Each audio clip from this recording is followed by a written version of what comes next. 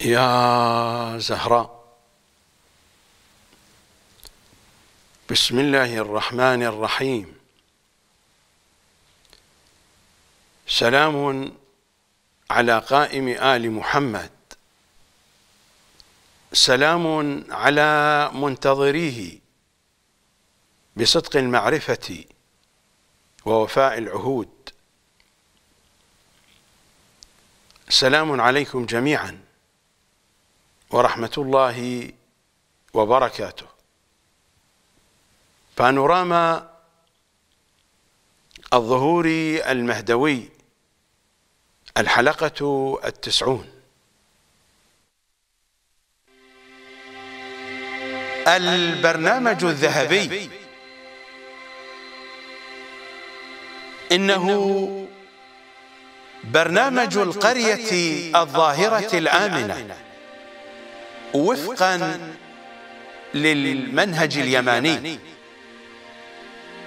الزبدة الذهبية.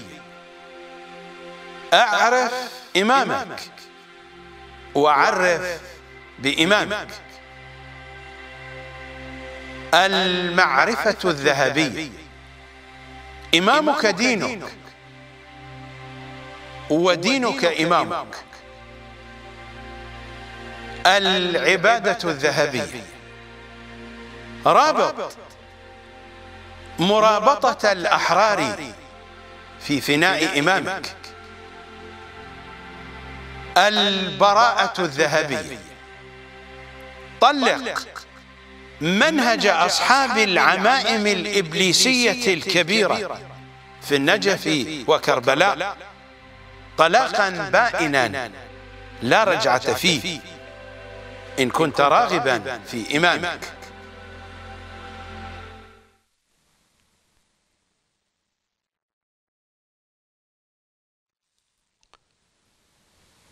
الخاتمة إنها خاتمة برنامجنا هذا.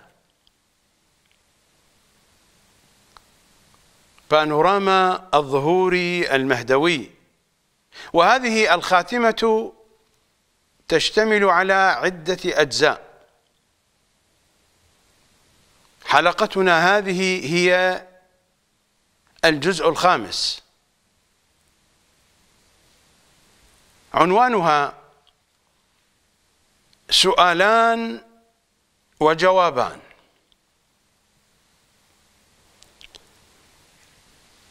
في أجواء البرنامج نفسه. السؤال الأول. السؤال الأول من لبنان.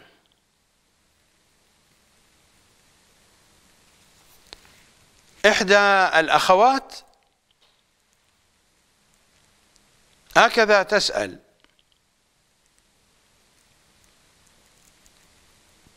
من أنها ترغب في إكمال دراستها الجامعية العليا. لكنها تقول إذا كان الإمام على الأبواب ما فائدة دراستي.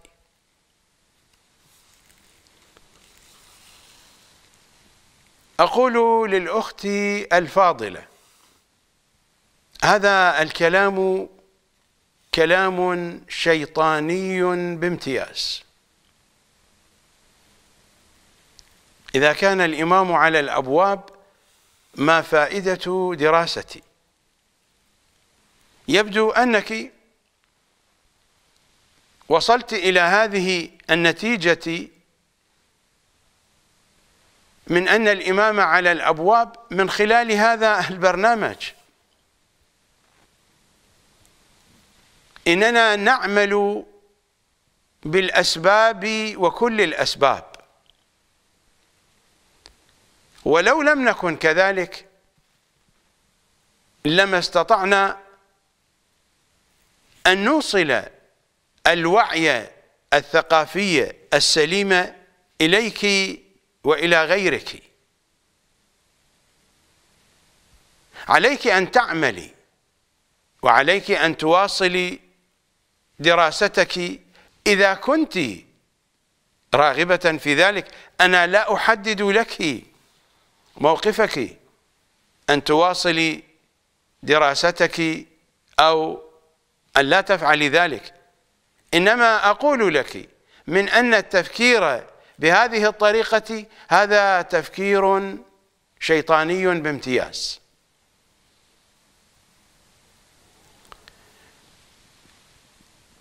لابد أن تعرفي وهذا الكلام أقوله لنفسي أولا ولك ثانيا ولكل الذين يشاهدون هذه الحلقة. هذا المنطق من أن الإمام على الأبواب فعلينا أن نعطل كل شيء. هذا المنطق يتعارض يتعارض مع منطق التمهيد للمشروع المهدوي الأعظم. وهو تكليفنا. تكليفنا العقائدي والشرعي. نحن الذين نقول إننا شيعة قائم آل محمد صلوات الله عليهم. تكليفنا الشرعي تكليفنا العقائدي أن نقوم بالتمهيد للمشروع المهدوي الأعظم كل بحسبه كل من موقعه كل بحسب إمكاناته. والذي لا يستطيع أن يفعل شيئا لعدم توفر الأسباب لديه فهو معذور. نيته نيته في أن يكون مستعدا لنصرة إمامه وللسعي في خدمته وللتمهيد لمشروعه إذا كان قادرا على ذلك. نيته نيته هي تكليفه. هذا المنطق الذي تتحدثين به يا أيتها الأخت الفاضلة هذا منطق يتعارض بالكامل مع منطق التمهيد لمشروع إمام زماننا الأعظم. نحن هكذا ربانا أئمتنا إنني أقرأ من غيبة النعماني إنها طبعة أنوار الهدى الطبعة الأولى قم المقدسة في الصفحة الثانية والخمسين بعد المئتين إنه الحديث السادس والأربعون.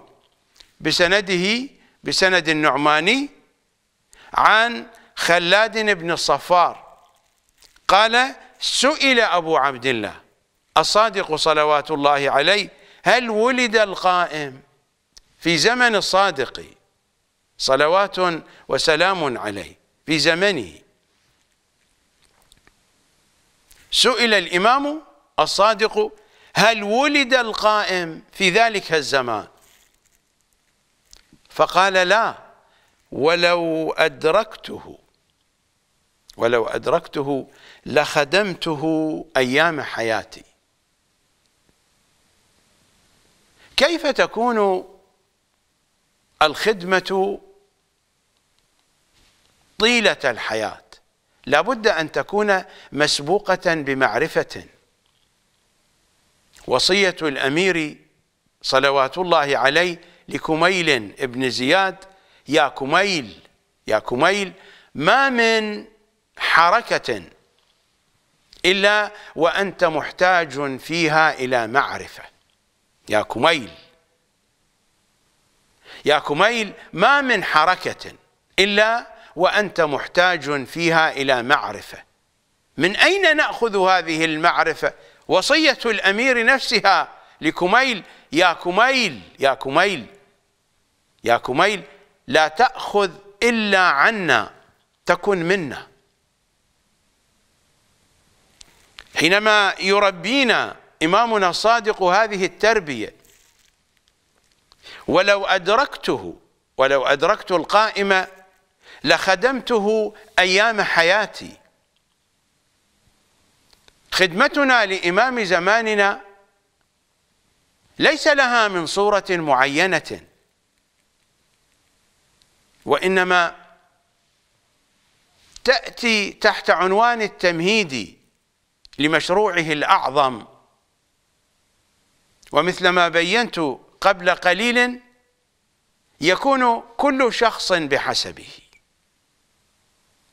بحسب ظروفه الزمانية المكانية الشخصية بحسب الإمكانات والأسباب المتوفرة لديه.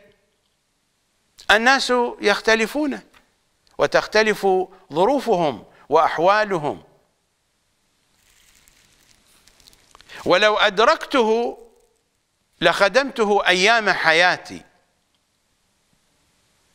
نحن مطالبون بالتمهيد على طول الخط إلى آخر نفس من أنفاس حياتنا. والتمهيد يعني العمل. التمهيد يعني النشاط. يعني الحركة. التعطيل. التعطيل منهج شيطاني. والتعطيل بهذا التفكير من أن الإمام على الأبواب ما فائدة دراستي ما فائدة عملي ما فائدة حركتي. هذا التعطيل سيقود الإنسان إلى نوعين نوعين من الكوارث التي ستدمره. هناك كارثتان كارثتان وهاتان الكارثتان ابتلي بهم بشكل خاص الشعب العراقي عبر التاريخ وإلى يومنا هذا. الكسل والملل. العراقيون يسمعونني الآن. أخاطب الشيعة المتدينين لا شأن لي بغير هؤلاء فخطابي موجه لهؤلاء. ميزتان واضحتان. ميزتان سيئتان واضحتان. في العراقيين عموما وفي الشيعة خصوصا الكسل والملل. هاتان كارثتان إذا ما ابتلي الإنسان بهما ستدمر عقيدته سيدمر دينه ستدمر عبادته لأن الكسل يمنع الإنسان من أن يكون نافعا دنيويا ومن أن يكون نافعا أخرويا. وأما المهلل وهو شقيقه شقيق الكسل إنهما توأمان الكسل والملل. الملل يدمر الدين يدمر الدين. ويدمر العلاقة مع الإمام صلوات الله وسلامه عليه. هذه بوابة التعطيل بوابة شيطانية تقودنا إلى الكسل والملل.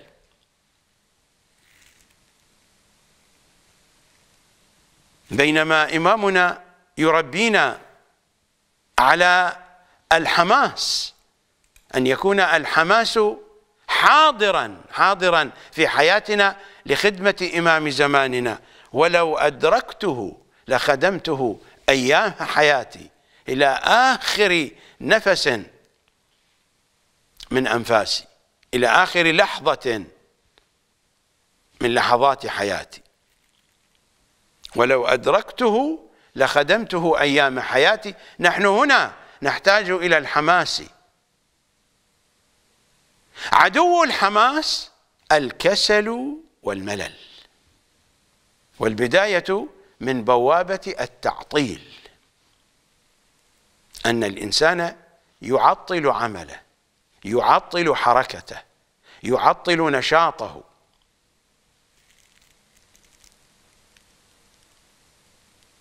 التمهيد التمهيد يا أيها الذين تريدون أن تمهدوا.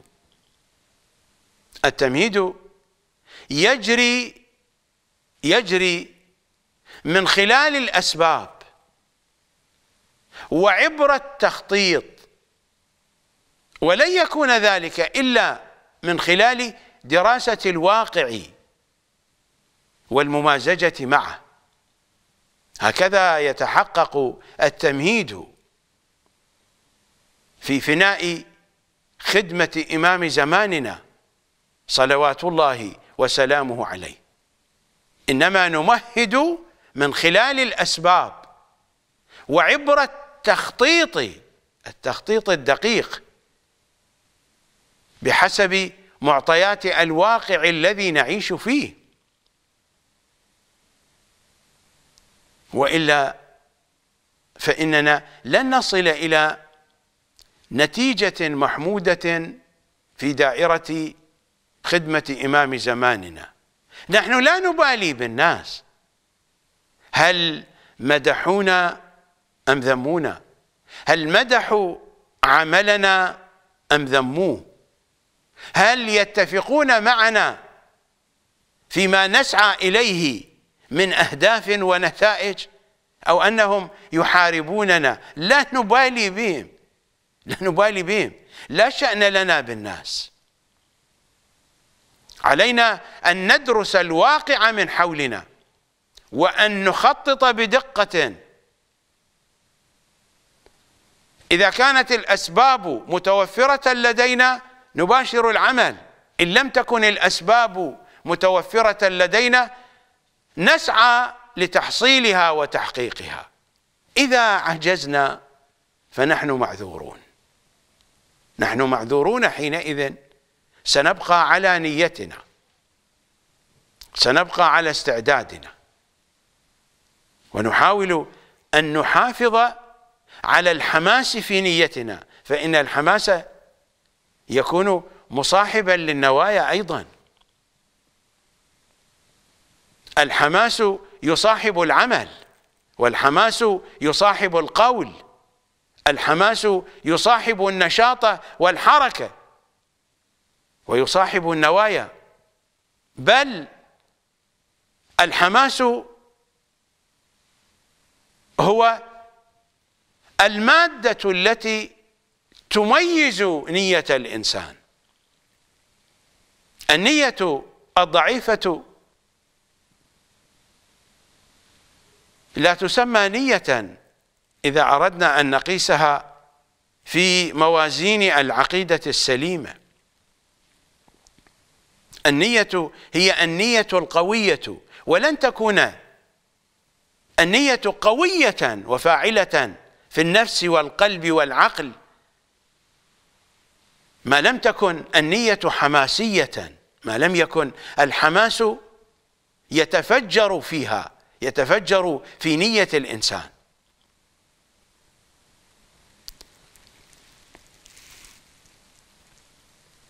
نحن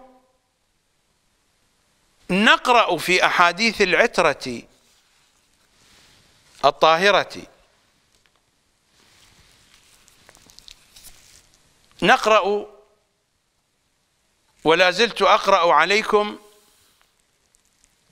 من غيبة النعماني.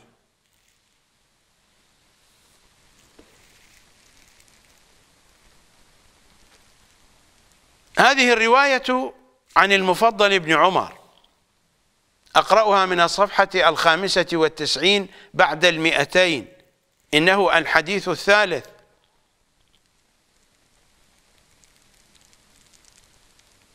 المفضل يقول سمعت الصادق صلوات الله عليه وقد ذكر القائم. فقلت المفضل يقول للإمام الصادق بعد أن ذكر القائم صلوات الله عليه. إني لأرجو أن يكون أمره في سهولة. فقال لا يكون ذلك لا يكون ذلك حتى تمسح العلق والعرق. العلق الدماء المتجمدة. هذا عند ظهوره. فما بالكم في الغيبة. في الغيبة حيث يصعب علينا أن نوفر الأسباب المناسبة. بينما في مرحلة الظهور فإن الأسباب المناسبة متوفرة بتمام المعنى. بينما في زمان الغيبة فإن أسباب العمل لا تتوفر دائما وإذا ما توفرت فإنها شحيحة وضيقة. أتحدث عن كل الأسباب المادية والمعنوية.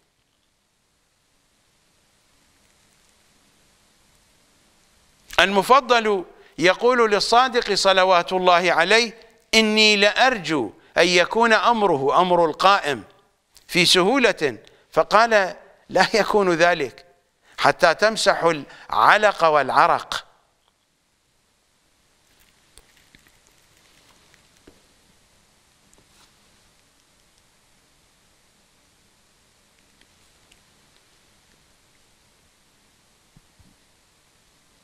قلت إنهم يقولون حديث طويل.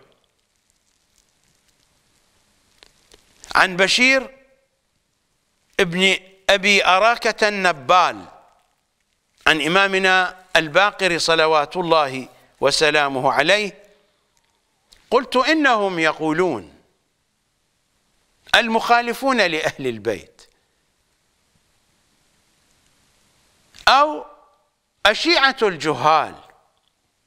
إنهم يقولون إنه إذا كان ذلك استقامت له الأمور. الإمام ماذا قال؟ هذا هو الذي أريده. قال كلا كلا. والذي نفسي بيده.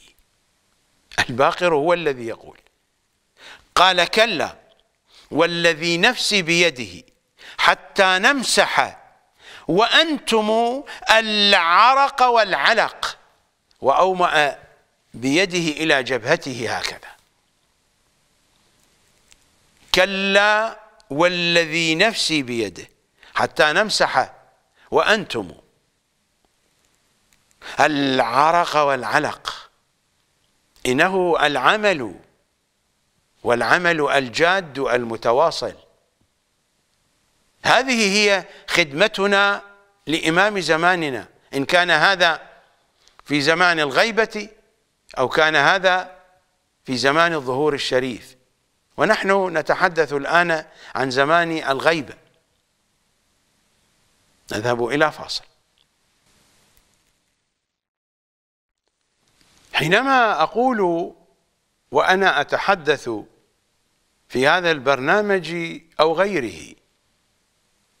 من أن الإمام على الأبواب إنني لا أتحدث عن وقت معين. إنما هي الحقائق التي تأخذ بعنقي والذين يتابعون برامجي يجدون الحقائق واضحة. فحينما تحدثت عن ظهور إمام زماننا صلوات الله عليه في هذا البرنامج. إنني جئتكم بكتبنا القديمة ووضعت بين أيديكم أحاديث العترة الطاهرة وشرحتها بعربية تعتمد على قواعد الأدب العربي. إنها فصاحتهم وبلاغتهم صلوات الله عليهم. وما زجت هذا مع واقع تستطيعون أن تلامسوه بحواسكم وجئتكم بالوثائق الحسية التي لا تقبل الشك. المنطق السليم سيقودنا إلى أن الإمام على الأبواب. لكن هذا لا يعني التوقيت. ولا يعني أن الإمام سيكون ظهوره في شهر محرم هذا أو في السنة القادمة. أنا لا أتحدث عن توقيت أبدا. لأن الأئمة منعونا أن نوقت. لماذا منعونا أن نوقت؟ لأننا لسنا قادرين على التوقيت وإذا ما وقتنا فإننا مخطئون قطعا. هذه قضية علمية. وما هي بقضية نفسية؟ حينما منعنا عن التوقيت لأننا لا نستطيع أن نوقت. لا نمتلك المعطيات. فحينما منعونا وقالوا لنا من جاءكم بوقت فكذبوه يقولون لنا إنكم لن تستطيعوا لن لن تستطيعوا أن توقتوا. لأنكم لا تمتلكون المعطيات التي تعتمدونها في التوقيت. نحن ربينا وأنشئنا أتحدث عن التربية العقائدية وعن النشأة الدينية. نحن ربينا وأنشئنا في دين العترة الطاهرة من قبل أئمتنا وفقا لقاعدة الأمان. وإن برامجي من أولها إلى آخرها مبنية على قاعدة الأمان. أقرأ عليكم مما جاء في علل الشرائع للصدوق المتوفى سنة 381 للهجرة. وهذا هو الجزء الثاني من علل الشرائع وطبعة طبعة مؤسسة شمس الضحى إيران. في الصفحة السادسة بعد الخمسمائة إنه الحديث السادس عشر بسنده بسند الصدوق عن إمامنا الكاظم صلوات الله وسلامه عليه يحدثنا يحدثنا علي بن يقطين الشخصية الشيعية المعروفة. علي بن يقطين يقول قلت لأبي الحسن موسى عليه السلام ما بال ما روي فيكم من الملاحم ليس كما روي. وما روي في أعاديكم قد صح. ما روي في أعاديكم في العباسيين. الأحاديث تقول من أن العباسيين يحكمون وقد حكموا. وعلي ابن يقطين يتحدث عن الحكم العباسي الأول. وما جاء في آل محمد من أنهم يحكمون ما حكموا. فماذا قال له إمامنا الكاظم صلوات الله عليه؟ إن الذي خرج في أعدائنا كان من الحق خرج من قبلنا. إن الذي خرج في أعدائنا في العباسيين وفي غيرهم كان من الحق. فكان كما قيل وأنتم وأنتم عللتم بالأماني. فخرج إليكم كما خرج. وأنتم عللتم بالأماني. نحن ربينا بالأماني. عللنا عللنا بالأماني مثل ما يقول الطغرائي في لاميته المعروفة بلامية العجم أعلل النفس بالآمال أرقبها. ما أضيق العيش ما أضيق العيش لولا فسحة الأمل. أعلل النفس. إنني أسكنها أهدئها أربيها أروضها. هذا معنى أعللها. أعلل النفس بالآمال أرقبها. ما أضيق العيش لولا فسحة الأمل. هذه حقيقة. قول الشاعر هنا حقيقة. مثلما يقول صلى الله عليه وآله وإن من الشعر لحكمة. هذه حكمة حقيقة. والحكمة ضالة المؤمن أينما وجدها أخذها. هذا قوله صلى الله عليه وآله أيضا.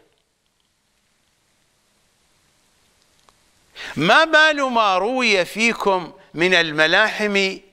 ليس كما روي. وما روي في أعاديكم قد صح. فقال إمامنا الكاظم صلوات الله عليه إن الذي خرج في أعدائنا كان من الحق خرج من قبلنا.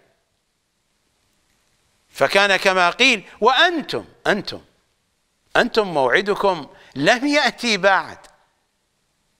الطريق طويل طويل. طويل يا ابن يقطين طويل. وأنتم عللتم بالأماني فخرج إليكم كما خرج. فكل برامجي كل برامجي من أولها إلى آخرها. بل كل حياتي بل كل حياتي أتحدث عن حياتي الشخصية.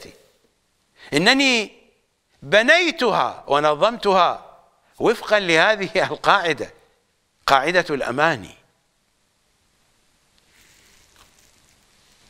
لا زالت الشيعة تربى بالأماني. هذه رواياتهم وأحاديثهم ولا زلنا لا زلنا نربى بالأماني. لا زالت الشيعة يا ابن يقطين تربى بالأماني فليس هناك من توقيت إنما هي قاعدة الأماني هذا هو منطق العترة الطاهرة. وهذا المنطق يتشكل من رؤية من رؤية مبنية على قاعدة ربانية صريحة واضحة. إمامنا الصادق صلوات الله وسلامه عليه يقول أبى الله إلا أن تجري الأمور بأسبابها. وهكذا تجري الأمور. هذا هو برنامج الله. هذه سنن الله. ونحن عبيده. حينما يسألون إمامنا الرضا صلوات الله وسلامه عليه عن معنى التوحيد. ما التوحيد يا ابن رسول الله؟ قال الرضا بقضاء الله وقدره. هذا هو التوحيد. الرضا بقضاء الله وقدره. أن نعمل بالأسباب بالسنن التي قضى بها علينا. وبالحدود التي قدرها لنا. هناك سنن ربانية وهناك حدود إلهية. وما بين هذه السنن والحدود يأتي دين العترة الطاهرة. تأتي الحكمة اليمانية حكمة محمد وعلي. صلى الله عليهما وآلهما. وما التعليل بالأمان إلا جزء من هذه الحكمة اليمانية. نقرأ في سورة القصص في الآية السابعة والسبعين بعد البسملة. وابتغ فيما آتاك الله الدار الآخرة. التخطيط يبدأ من هنا. وابتغي فيما آتاك الله الدار الآخرة لكن على قاعدة. ولا تنسى نصيبك من الدنيا. القاعدة التي ننطلق منها من هنا من الأسباب. وأحسن كما أحسن الله إليك. في الجهتين في الآخرة والدنيا. ولا تبغي الفساد في الأرض. إن الله لا يحب المفسدين. هذه الآية تلخص لنا البرنامج بكل أبعاده في أبعاده المادية وفي أبعاده المعنوية. في أبعاده العقائدية وفي أبعاده الطقوسية العبادية. في ظواهر الأمور وبواطنها. الآية شاملة لكل هذه المضامين. وابتغي فيما آتاك الله الدار الآخرة.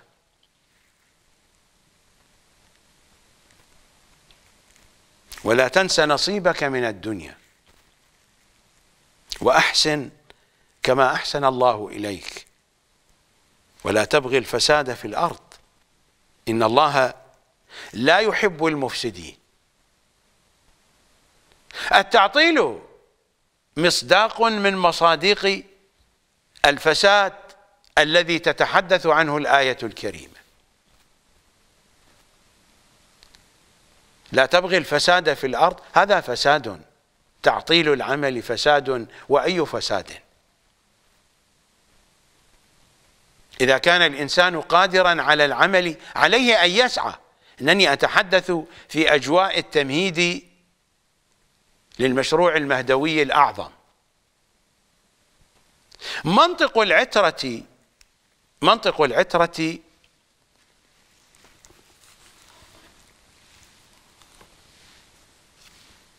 تلخصه كلمة إمامنا الحسن المجتبى.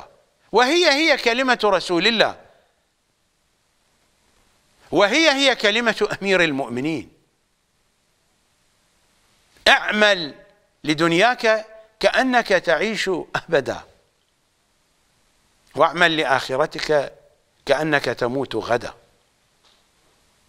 هذه كلمة رسول الله. وهي هي كلمة أمير المؤمنين.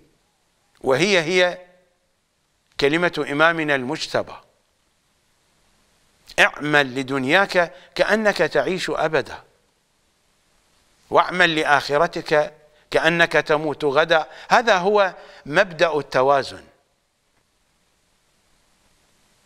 إنني أتحدث عن مبدأ التوازن وفقا لمنطق الثقافة المهدوية التي تمنعنا من التوقيت ولكنها تجعل الأمل متحركا في حياتنا توقع الفرج صباحا ومساء. توقع الفرج صباحا ومساء.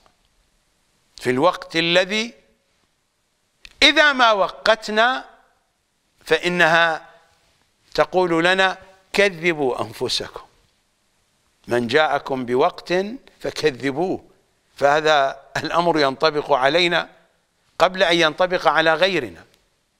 فإذا ما جئنا نحن بوقت علينا أن نكذب أنفسنا. أنا لا أتحدث عن احتمالات يضعها الناس لا على سبيل الجد ولا يجعلونها أساسا لتنظيم حياتهم. إنما أتحدث عن التحديد والتعيين الذي يكون مقياسا واساسا في حياة الناس بحيث أن الناس يعطلون حياتهم أو أنهم يغيرون مسار حياتهم. فمن جاءنا بوقت نكذبه. حتى لو كنا نحن الذين جئنا بوقت لأنفسنا علينا أن نكذب أنفسنا. لماذا؟ قضية علمية. نحن لا نمتلك المعطيات فمن أين نأتي بالنتائج؟ المقدمات ليست متوفرة لدينا. فكيف سنحصل على النتائج الصحيحة من دون مقدمات صحيحة؟ وإنما نبني حياتنا ونتحرك فيها وفقا لقاعدة الأمان. ووفقا لهذه القاعدة نظم الأئمة أحاديث الغيبة والظهور. ولذا فإن الشيعة في كل زمان يجدون إمكانية لتطبيقها. في كل زمان. في القرون الماضية هناك الكثير من الوقائع والحوادث والحالات والتي تحدثت عنها في برامجي السابقة. تكون الشيعة قد أيقنت بأن الإمام سيكون ظاهرا في غضون سنة أو سنتين ويرتبون اثارا على ذلك. أنا لا أريد أن أفتح هذا الموضوع لأن الوقت يجري سريعا. وعندي سؤال آخر.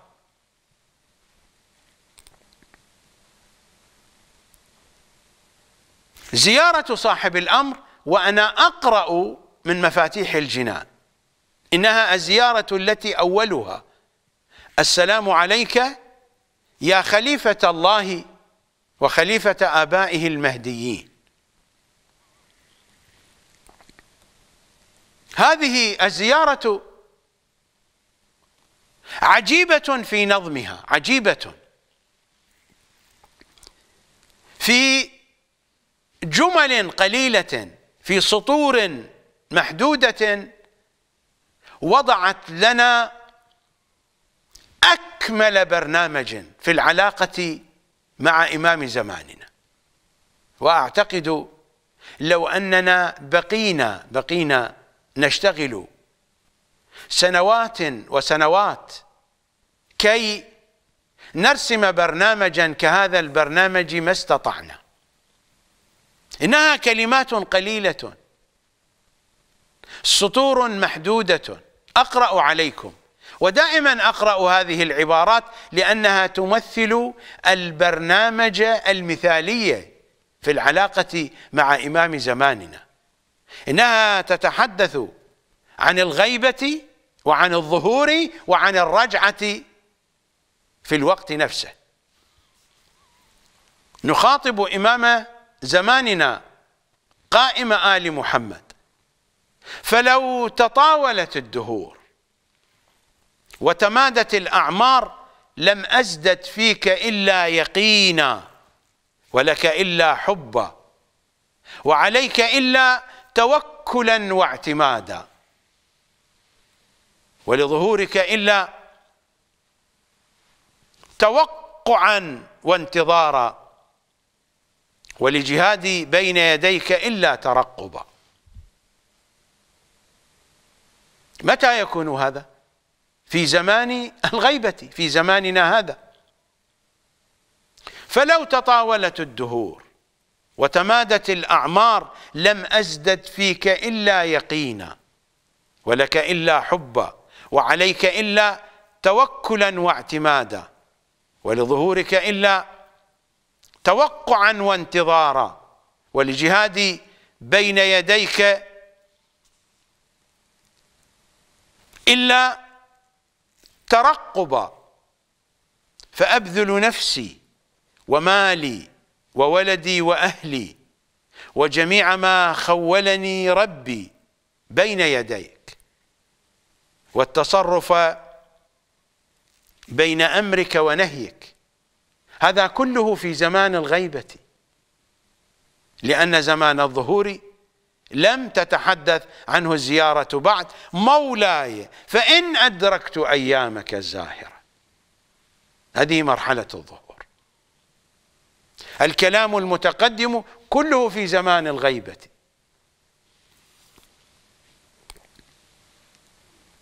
فلو تطاولت الدهور وتمادت الأعمار هذا هو التمهيد. هذا هو التمهيد. فلو تطاولت الدهور وتمادت الأعمار لم أزدد فيك إلا يقينا ولك إلا حبا وعليك إلا توكلا واعتمادا ولظهورك إلا توقعا وانتظارا ولجهادي بين يديك إلا ترقبا. فأبذل نفسي هذا في زمان الغيبة. فأبذل نفسي ومالي وولدي وأهلي. وجميع ما خولني ربي بين يديك والتصرف بين أمرك ونهيك. هذا في زمان الغيبة. مولاي فإن أدركت أيامك الزاهرة. هذا في وقت الظهور. مولاي فإن أدركت أيامك الزاهرة وأعلامك الباهرة فها أنا ذا عبدك المتصرف بين أمرك ونهيك. أرجو به أرجو به الشهادة بين يديك والفوز لديك. هذا في زمن الظهور في مرحلة الرجعة إن وفقنا للرجعة. فإن أدركني الموت قبل ظهورك فإني أتوسل بك وبآبائك الطاهرين. إلى الله تعالى وأسأله أن يصلي على محمد وآل محمد وأن يجعل لي كرة في ظهورك ورجعة في أيامك لأبلغ من طاعتك مرادي وأشفي من أعدائك فؤادي. إلى آخر ما جاء في الزيارة الشريفة. ألا تلاحظون أن الزيارة تحدثت في مرحلة التمهيد أكثر مما تحدثت عن مرحلة الظهور والرجعة. المقطع الذي تحدثت فيه عن زمان الغيبة عن زمان التمهيد كان أكثر من المقطعين أكثر من مقطع زمن الظهور وأكثر من مقطع زمن الرجعة. لأن الزيارة أساسا نسجت لنا. نسجت للذين يعيشون زمان الغيبة هذه الثقافة المهدوية الأصيلة التي نحن مطالبون بها.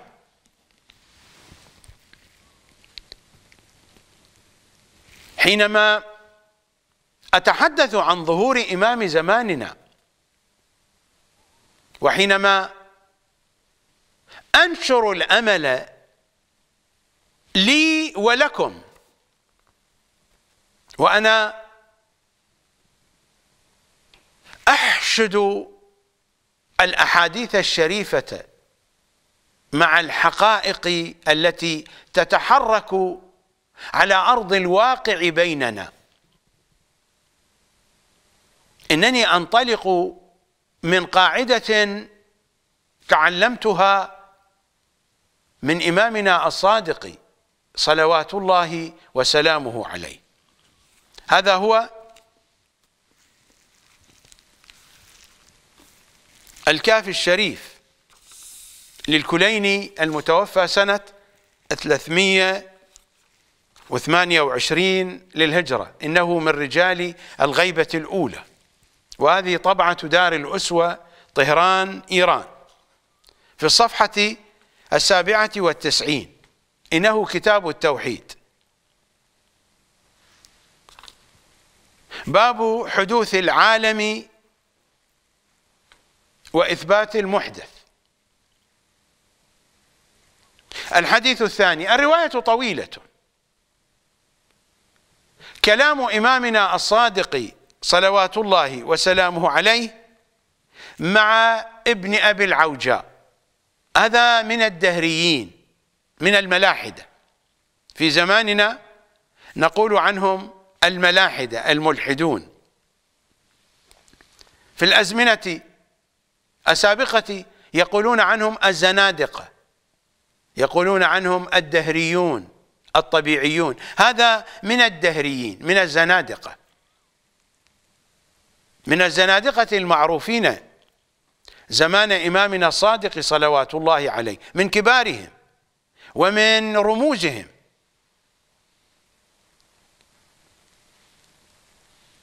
هو ذهب إلى الإمام الصادق في موسم الحجيج وكان الإمام في المسجد الحرام والناس تطوف بالبيت.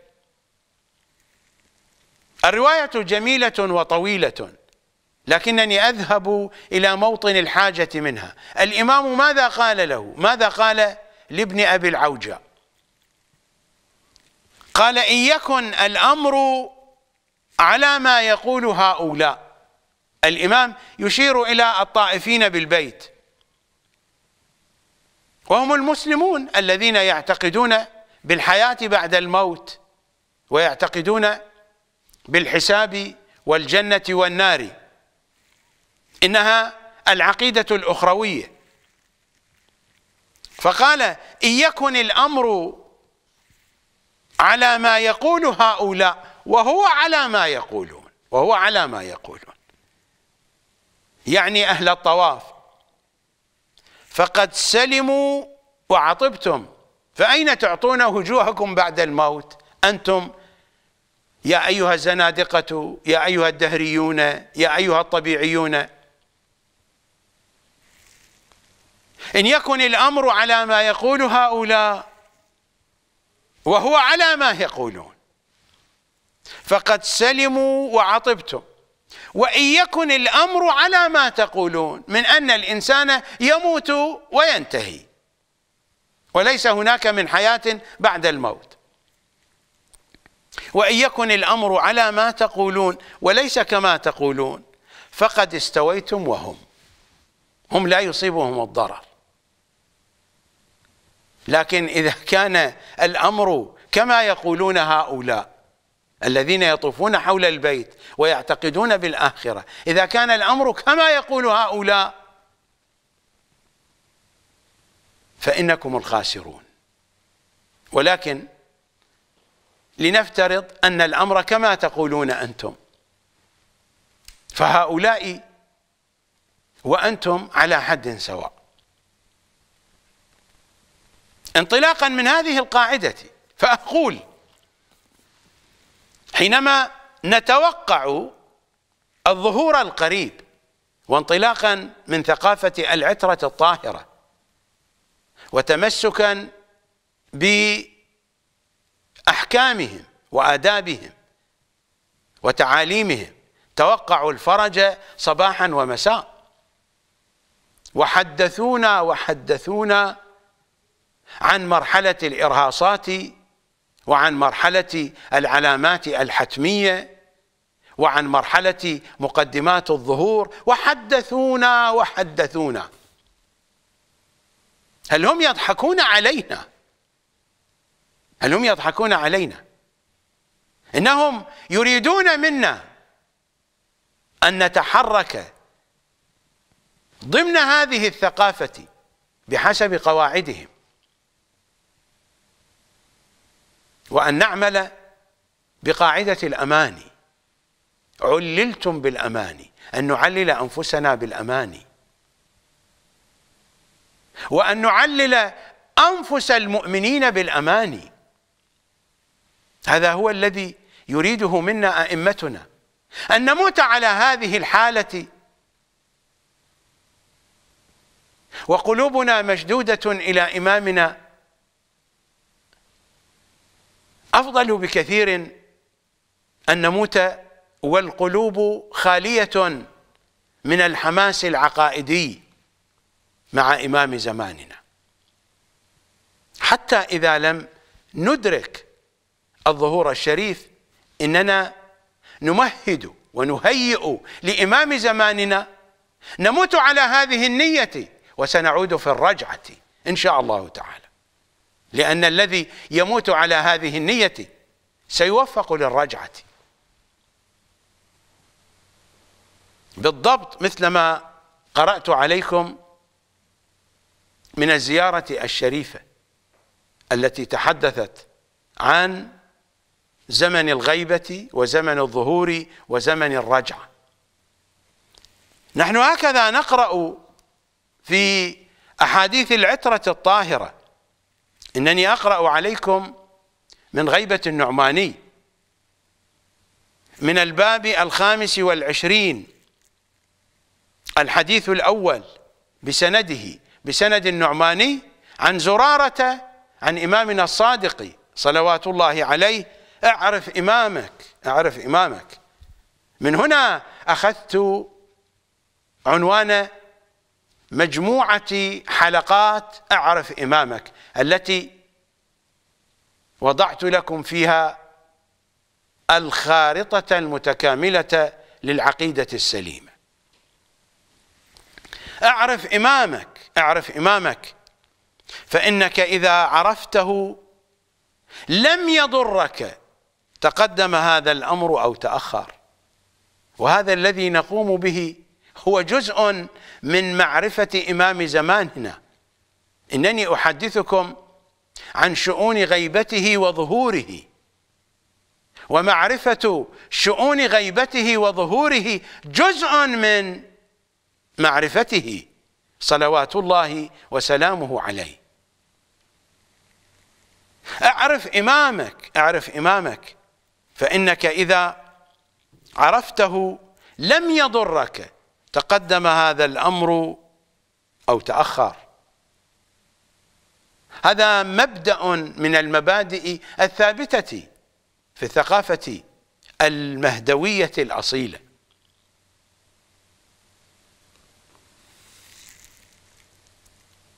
الحديث الثاني بسنده بسند النعماني عن الفضيل بن يسار. قال سألت أبا عبد الله الصادق صلوات الله عليه عن قول الله عز وجل يوم ندعو كل أناس بإمامهم. فقال يا فضيل أعرف إمامك أعرف إمامك. في برنامجنا الذهبي الزبدة الذهبية ما هي؟ أعرف إمامك وعرف بإمامك. هذا هو التمهيد. يا فضيل يا فضيل أعرف إمامك فإنك إذا عرفت إمامك لم يضرك. تقدم هذا الأمر أو تأخر. ومن عرف إمامه ثم مات قبل أن يقوم صاحب هذا الأمر. كان بمنزلة من كان قاعدا في عسكره لا بل بمنزلة من قعد تحت لوائه. قد تقول ما هو الفارق بين من كان قاعدا في عسكره وبين من كان بمنزلة من قعد تحت لوائه؟ من قعد تحت لوائه؟ هؤلاء هم النخبة. هؤلاء هم الثلاثمائة وثلاثة عشر. هؤلاء هم القاعدون تحت لوائه. إنهم الأمة المعدودة. هكذا تصطلح العترة الطاهرة عليهم بهذا المصطلح الأمة المعدودة. ومن عرف إمامه ومن عرف إمامه ثم مات قبل أن يقوم صاحب هذا الأمر كان بمنزلة من كان قاعدا في عسكره في عموم أنصاره. لا بل بمنزلة من قعد تحت لوائه. قطعا الناس تختلف معارفها وتختلف عقائدها وتختلف نواياها. فهناك من يكون بهذه المنزلة بمنزلة من كان قاعدا في عسكره. وهناك من يكون بهذه المنزلة بمنزلة من قعد تحت لوائه صلوات الله وسلامه عليه. أعتقد أن الصورة صارت واضحة وواضحة جدا.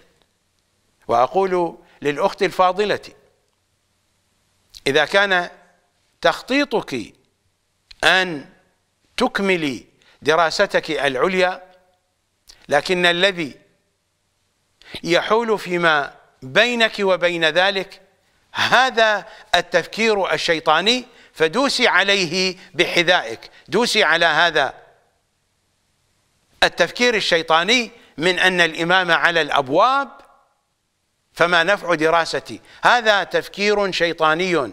دوسي عليه بحذائك. وأكملي دراستك. أنا لا أقترح عليك أن تكملي دراستك أو أن تتوقفي هذا أمر راجع إليك.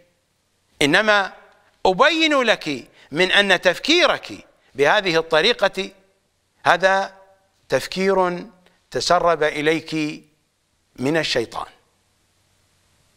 نحن تكليفنا أن نعمل وأن نعمل وأن نعمل. وأن يكون عملك وأن تكون دراستك موظفة في خدمة إمام زماننا. صلوات الله وسلامه عليه. أنا لا أتحدث عن تخصص معين. كل التخصصات يمكن أن توظف لخدمة إمام زماننا. وإنني أتحدث عن الجانب الاجتماعي. حينما يكون المؤمن أو تكون المؤمنة على منزلة اجتماعية مرموقة ومن أهم أسبابها الشهادات الجامعية العالية فإن بإمكانه بإمكان المؤمن وبإمكانها بإمكان المؤمنة أن تقدم خدمة أفضل في فناء إمام زماننا صلوات الله وسلامه عليه. لأن العمل الديني لأن العمل العقائدي لأن العمل التبليغي إن كان على أرض الواقع أو كان في العالم الافتراضي يعتمد كثيرا على هذه الظواهر وعلى هذه المتبنيات المجتمعية.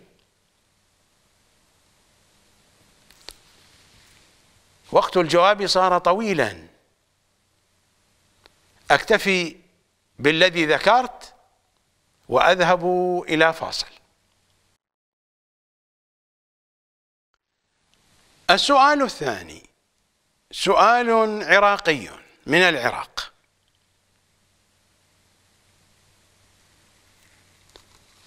هنالك من يرد على تطبيق رواية المشرقيين على الثورة الخمينية ويستدل بهذه الرواية على أن هذا الحدث سيكون مع الصين.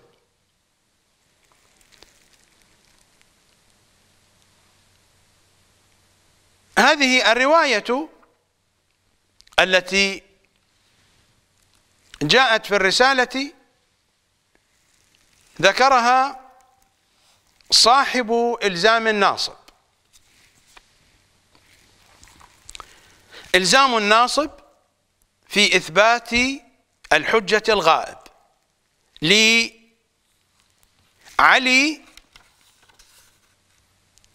اليزدي الحائري. المتوفى سنة 1333 للهجرة. هذه طبعة مؤسسة الأعلمي بيروت لبنان إنه الجزء الثاني. الطبعة الأولى 2002 ميلادي. في الصفحة الثالثة والثلاثين بعد المئة. هكذا جاء في هذه الصفحة. في أربعين. المير اللوحي. في أربعين. المير اللوحي عن فضل بن شاذان. عن أبي جعفر عليه السلام. يقول كأني بقوم قد خرجوا من أقصى بلاد المشرق من بلدة يقال لها شيلة. هل هناك بلدة نعرفها يقال لها شيلة؟ في القرون الماضية كانت هناك قرية تقع قرب الكوفة من القرى المحيطة بالكوفة. كانت هناك قرية باتجاه الحلة. يقال لها قرية شيلة منطقة شيلة وفيها نهر يجري. كان معروفا بنهر شيلة. لكنها في زماننا لا وجود لها. قبل الإسلام كانت موجودة في العراق وحينما دخل المسلمون كانت موجودة في الزمن الأموي في الزمن العباسي وبعد ذلك اندرس النهر واندرست القرية وما بقي من ذلك أثر فلا يوجد أثر منها في زماننا. في زماننا هناك مدينة سياحية في تركيا. تقع بالقرب من مدينة إسطنبول. لا تبعد عنها كثيرا. مدينة ومنطقة سياحية معروفة هناك. يقال لها شيلة. غير هذا بحدود علمي لا يوجد ذكر لا في أطالس الخرائط ولا في معاجم البلدان والمدن ولا حتى على الإنترنت. لا يوجد ذكر لمدينة أخرى. بحسب هذا النص من أن المدينة تقع في أقصى بلاد المشرق. أقصى بلاد المشرق يعني جنوب شرق آسيا. هذه المناطق في أقصى أقصى بلاد المشرق.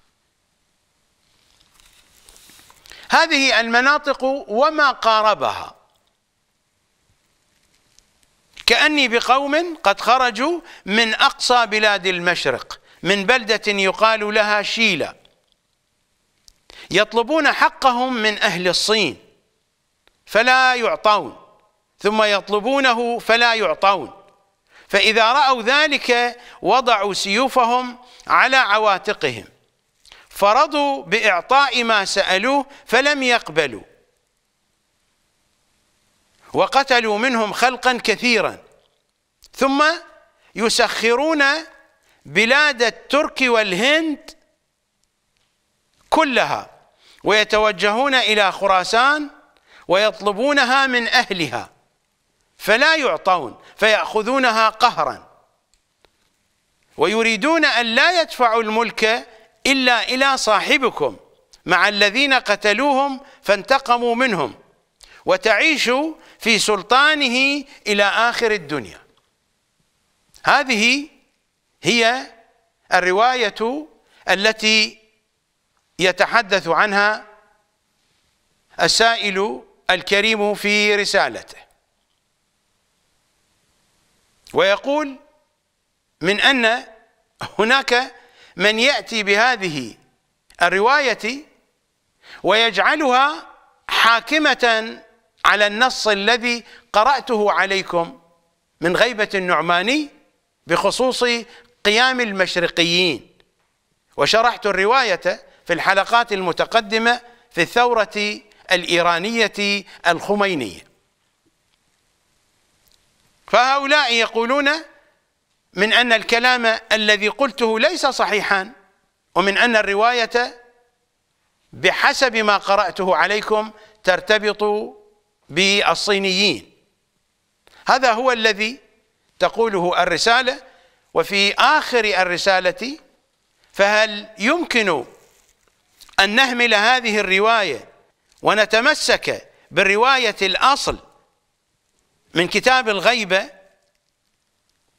لأن نصها من الواضح أنه مختلف. أنه مختلف إذا أردنا أن نجمع بين حديث قيام المشرقيين في غيبة النعماني وبين هذه الرواية. قبل أن أعلق على هذه الرواية سأعود إلى مصدرها. فصاحب إلزام الناصب نقلها عن هذا الكتاب أربعين المير اللوحي. وهو في الحقيقة ما هو اللوحي وإنما هو مير لوحي وليس اللوحي. على أي حال هذا ليس مهما. في أربعين المير اللوحي كما يقول. هذا الكتاب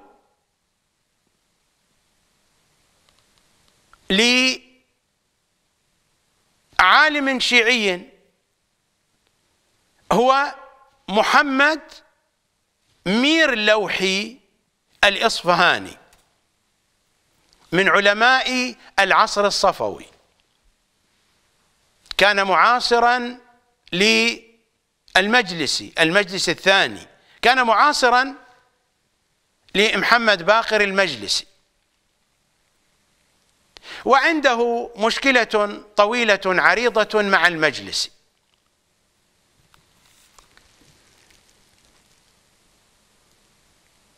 هذا الكتاب يعرف بهذا العنوان أربعين المير اللوح كما قال صاحب إلزام الناصب؟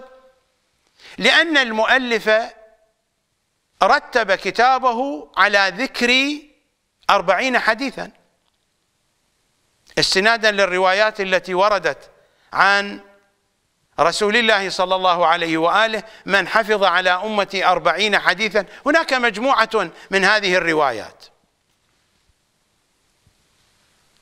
وكثيرون من علماء الشيعة ألفوا كتبا تعرف بكتب الأربعين. فيختار العالم أربعين حديثا يقوم بشرحها وبيان مضامينها. فهذا الرجل محمد مير لوحي الإصفهاني قام بالأمر نفسه جمع أربعين حديثا من أحاديث الرسول وآل الرسول وشرحها. لكنه وضع عنوانا لكتابه. كفاية المهتدي لمعرفة المهدي. هذا هو كتابه. قد يقال له كتاب الأربعين للمير لوحي ولكن الاسم الحقيقي للكتاب هو هذا كفاية المهتدي لمعرفة المهدي. جمع في الكتاب أربعين حديثا من أحاديثهم صلوات الله عليهم وقام بشرحها وتفصيل معانيها. هذه صورة لنسخة مخطوطة من هذا الكتاب. رجاء اعرضوا لنا الصورة الثانية. هذه صورة الصفحة الأولى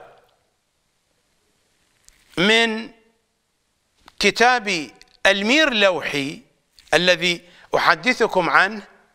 هذه صورة الصفحة الأولى من مخطوطة الكتاب التي صورتها الكاملة بين يدي على المكتب كما تشاهدون هذه صورة الصفحة الأولى.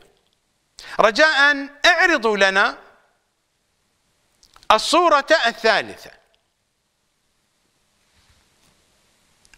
هذه صورة الصفحة التي تسبق الصفحة الأخيرة من هذه المخطوطة التي بين يدي.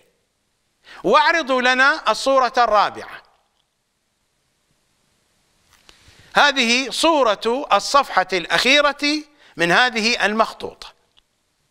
إذا هذه المخطوطة مخطوطة كتاب المير لوحي. وهناك نسخ أخرى من مخطوطات أخرى لهذا الكتاب. هناك نسخة في مكتبة مجلس الشورى في طهران. في مجلس الشورى في بناية البرلمان الإيراني. هناك مكتبة تابعة لهذه المؤسسة من المكتبات المعروفة في طهران. وهناك نسخة مخطوطة أيضا في المكتبة المركزية لجامعة طهران وجامعة طهران في طهران وهناك نسخ أخرى. في كل هذه النسخ هذه الرواية ليست موجودة. هذه الرواية ليست موجودة. الرواية التي ذكرها علي اليزدي الحائري في الجزء الثاني من إلزام الناصب والتي قرأتها عليكم. هو قال بأن الرواية مأخوذة من أربعين المير لوحي. النسخ المخطوطة المتوفرة الآن لهذا الكتاب لا توجد فيها هذه الرواية. بحسب ما جاء في سند الرواية من أن المير لوحي نقل الرواية عن الفضل ابن شاذان. الفضل ابن شاذان عنده كثير من الكتب. الفضل ابن شاذان من كبار علماء أصحاب الأئمة. يعد في أصحاب إمامنا الجواد ويعد في أصحاب إمامنا الرضا أيضا. لكنه محسوب على الجواد بنحو أكثر صلوات الله عليه. الفضل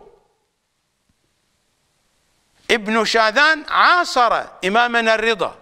وإمامنا الجواد وإمامنا الهادي وإمامنا الحسن العسكري. لكنه توفي قبل استشهاد إمامنا الحسن العسكري كما يبدو من المعلومات المتوفرة لدينا ومن القرائن الموجودة بين أيدينا. الفضل ابن شاذان من أجلة رواة الحديث.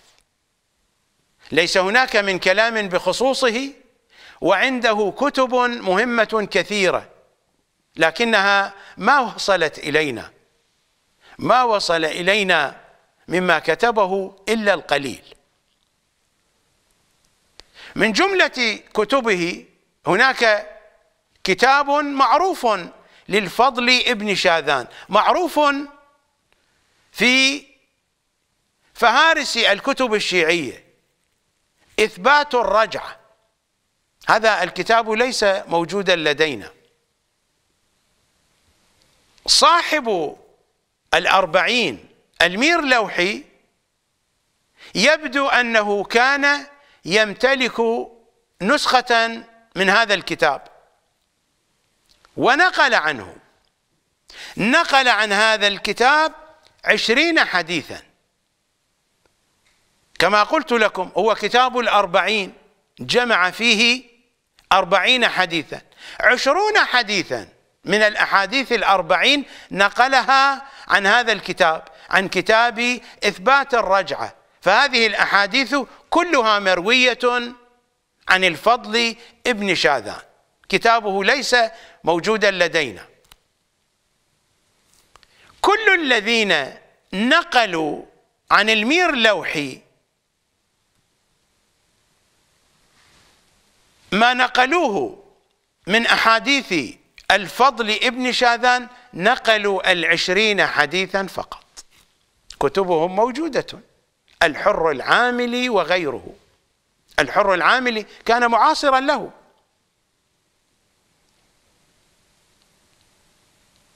المجلسي محمد باقر المجلسي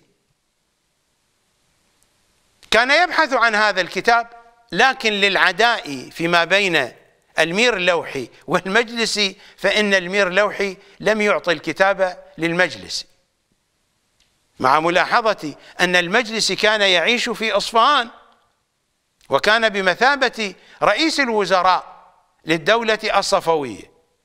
والمير لوحي أيضا كان يعيش في أصفهان فهو إصفهاني. وإن كان أصل عائلته من سبزوار لكنه يعيش في أصفهان. حياته قضاها في أصفهان. فهما الاثنان معا كانا في أصفهان ولكنه لم يعطي هذا الكتاب للمجلس. ولذا فإن المجلس لم يثبت كتاب إثبات الرجعة في مصادر بحار الأنوار. هذه أمور جانبية. خلاصة الكلام ليس هناك من احتمال أن حديثا كهذا الحديث كان موجودا في الكتاب وحذف. لأن الأحاديث التي نقلها عن كتاب إثبات الرجعة للفضل ابن شاذان نقلها الآخرون عنه عن هذا الكتاب وأثبتوها في كتبهم عشرون حديثا وهذه الأحاديث العشرون لا زالت موجودة في هذه المخطوطات. والأمر هو هو والأمر هو هو في المطبوع من هذا الكتاب. فهذا الكتاب طبع. مطبوع وموجود بنسخته الفارسية. الكتاب باللغة الفارسية وليس باللغة العربية. هو يورد الأحاديث باللغة العربية ولكنه حين يشرحها ويترجمها فإنه يشرحها باللغة الفارسية.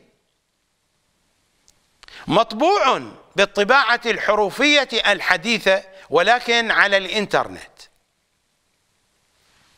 بالطباعة الحروفية الحديثة بلغته الفارسية. وطبع أيضا طبع أيضا في طهران طبع طباعة ورقية. وترجم إلى العربية ترجمه ياسين الموسوي.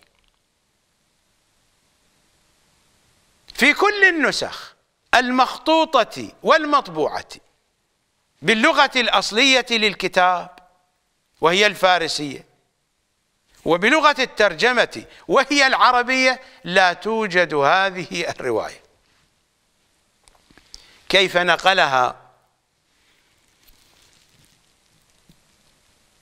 صاحب إلزام الناصب من هذا الكتاب هذا أمر آخر. أنا لا أقول إن صاحب إلزام الناصب يكذب ويفتري لكنني أعتقد أنه نقل الرواية بالواسطة لأنه لم يصرح. هل أنه أخذ الرواية من نسخة مخطوطة من نسخة غير مخطوطة لم يصرح. لم يصرح في كتابه. من طبعة حجرية. من أي مصدر. هكذا قال في أربعين المير اللوحي وبالمناسبة. فإنه أورد الرواية التي جاءت مذكورة في غيبة النعماني قبل هذه الرواية. وقال في غيبة النعماني. ثم قال وفيه عن أبي جعفر محمد بن علي كأني بقوم قد خرجوا بالمشرق يطلبون الحق فلا يعطونه لكنه بتر الرواية. انتهت الرواية حتى يقوموا ولا يدفعونها إلا إلى صاحبكم قتلاهم شهداء.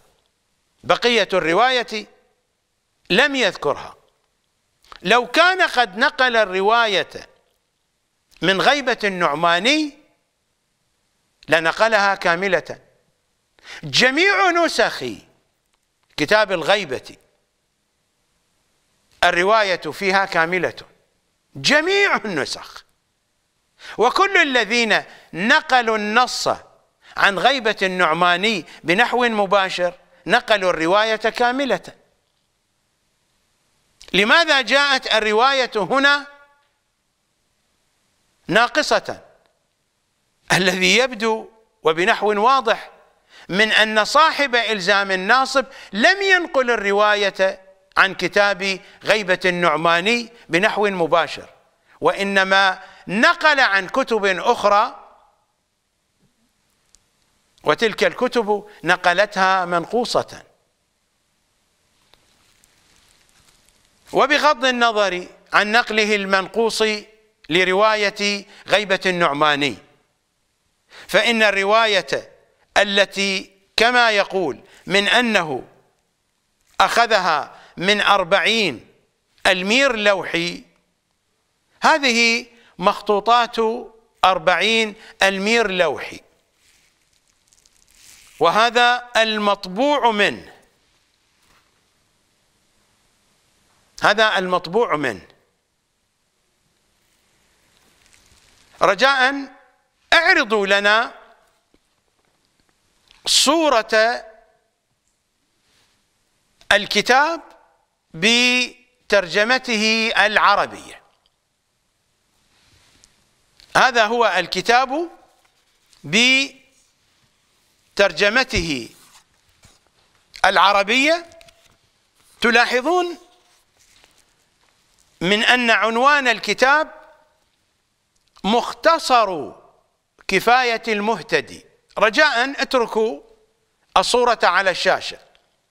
مختصر كفاية المهتدي لمعرفة المهدي الكتاب عنوانه كفاية المهتدي لمعرفة المهدي.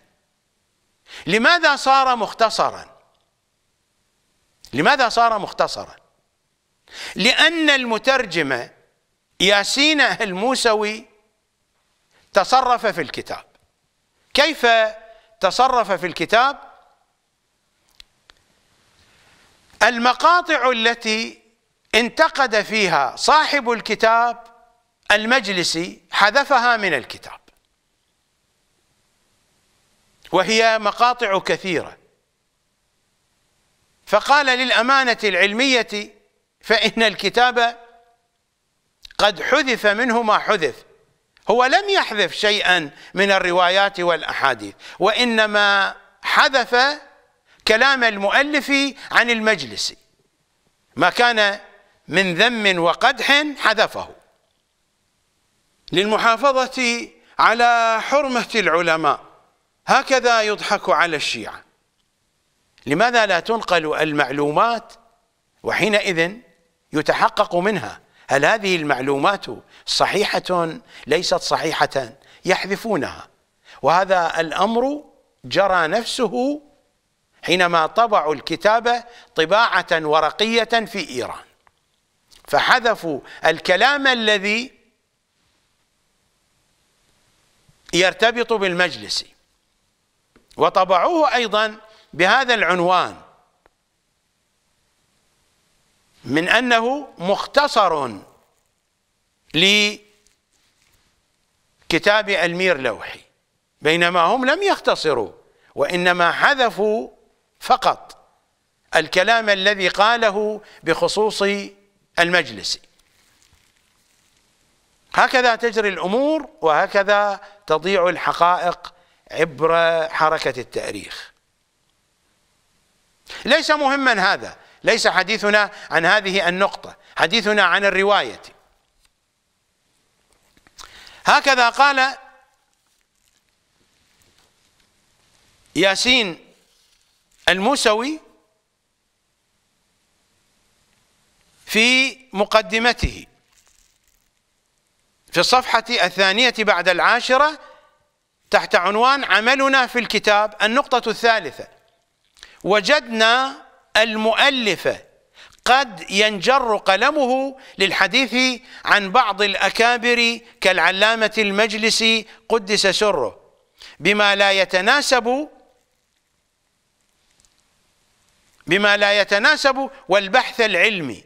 فارتأينا حذف تلك المقاطع من الكتاب. ولذلك عدلنا من تسمية الكتاب باسمه الأصلي إلى تسميته بمختصر كفاية المهتدي رعاية لأمانة النقل. لهذا السبب سمى الكتاب بمختصر كفاية المهتدي. هذه الطبعة طبعة مركز الدراسات التخصصية في الإمام المهدي صلوات الله عليه إنها الطبعة الأولى جمادى الأولى 1427 هجري قمري النجف الأشرف.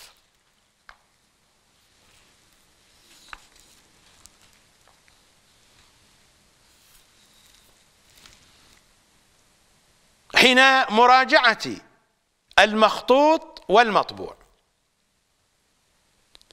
فإن الأحاديث التي نقلها المير لوحي عن الفضل ابن شاذان عشرون حديثا.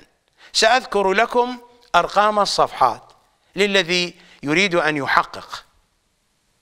أو كي تعرفوا من أن الأجوبة هنا تأتي أتحدث عن شاشة القمر تأتي بعد تتبع. وتحقيق وتدقيق. ما شرحت الرواية بالطريقة التي شرحتها إلا وأنا مطلع على كل النصوص في الكتب السنية أو ما جاء مذكورا في إلزام الناصب.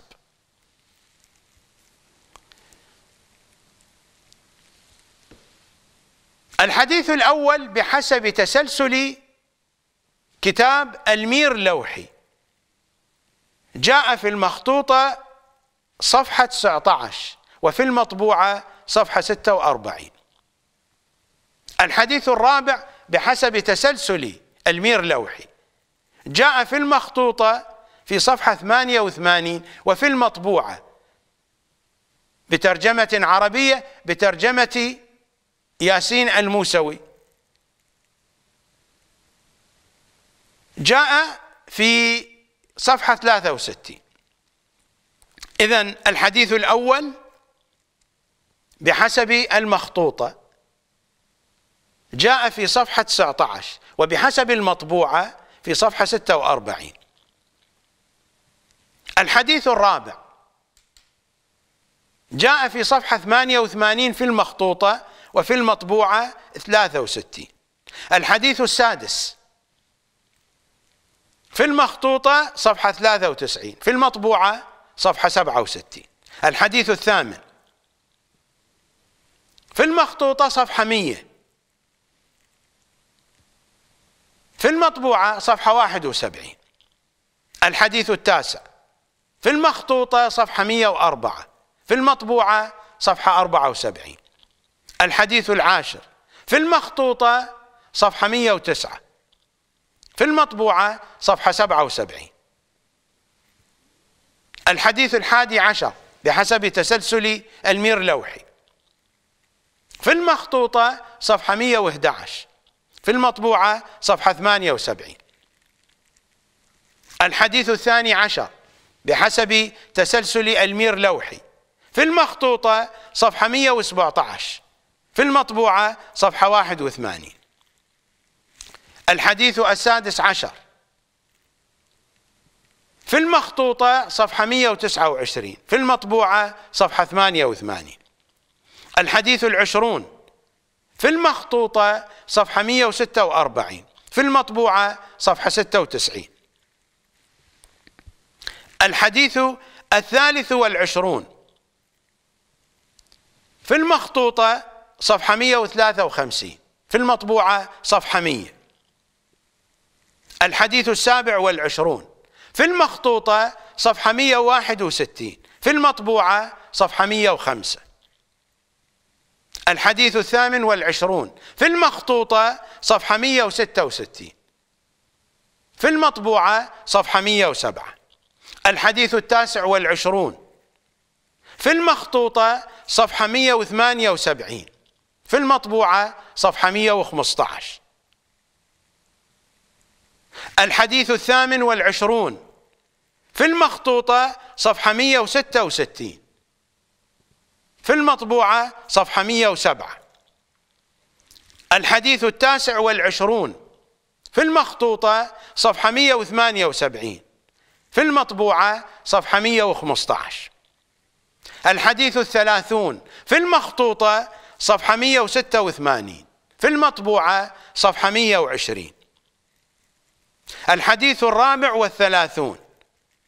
في المخطوطة صفحة 219 في المطبوعة صفحة 143 الحديث السابع والثلاثون في المخطوطة صفحة 226 في المطبوعة صفحة 148 الحديث الثامن والثلاثون في المخطوطة صفحة 308 في المطبوعة صفحة 205 الحديث التاسع والثلاثون. في المخطوطة صفحة 311 في المطبوعة صفحة 209 الحديث الأربعون. في المخطوطة صفحة 357 في المطبوعة صفحة 236 هذه عشرون حديثا. كتاب الأربعين للمير لوحي يشتمل على أربعين حديثا. عشرون حديثا منها نقلها عن كتاب إثبات الرجعة للفضل بن شاذان. هذه هي الأحاديث لا يوجد فيها ولا حرف واحد من الرواية التي أوردها صاحب إلزام الناصب. إنني أتحدث عن المخطوطات المتوفرة وعن المطبوعات المتوفرة من هذا الكتاب.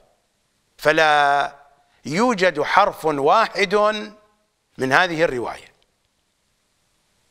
نذهب إلى فاصل. اذا صار واضحا لدينا من أن الرواية لم يرد ذكرها في كتاب المير لوحي. فهذه المخطوطات وهذه المطبوعات. إلا أن يقول قائل هناك نسخة عند صاحب إلزام الناصب من كتاب المير لوحي فيها هذه الرواية ونحن لا نمتلك دليلا على هذا. هذه النسخ المخطوطة والمطبوعة باللغة الفارسية وباللغة العربية. لا يوجد ولا حرف واحد من هذه الرواية.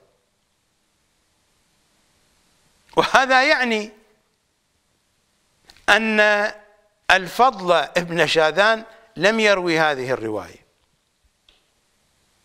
لأن مصدر صاحب إلزام الناصب هو هذا الكتاب بحسب ما يقول في أربعين المير اللوحي عن فضل بن شاذان.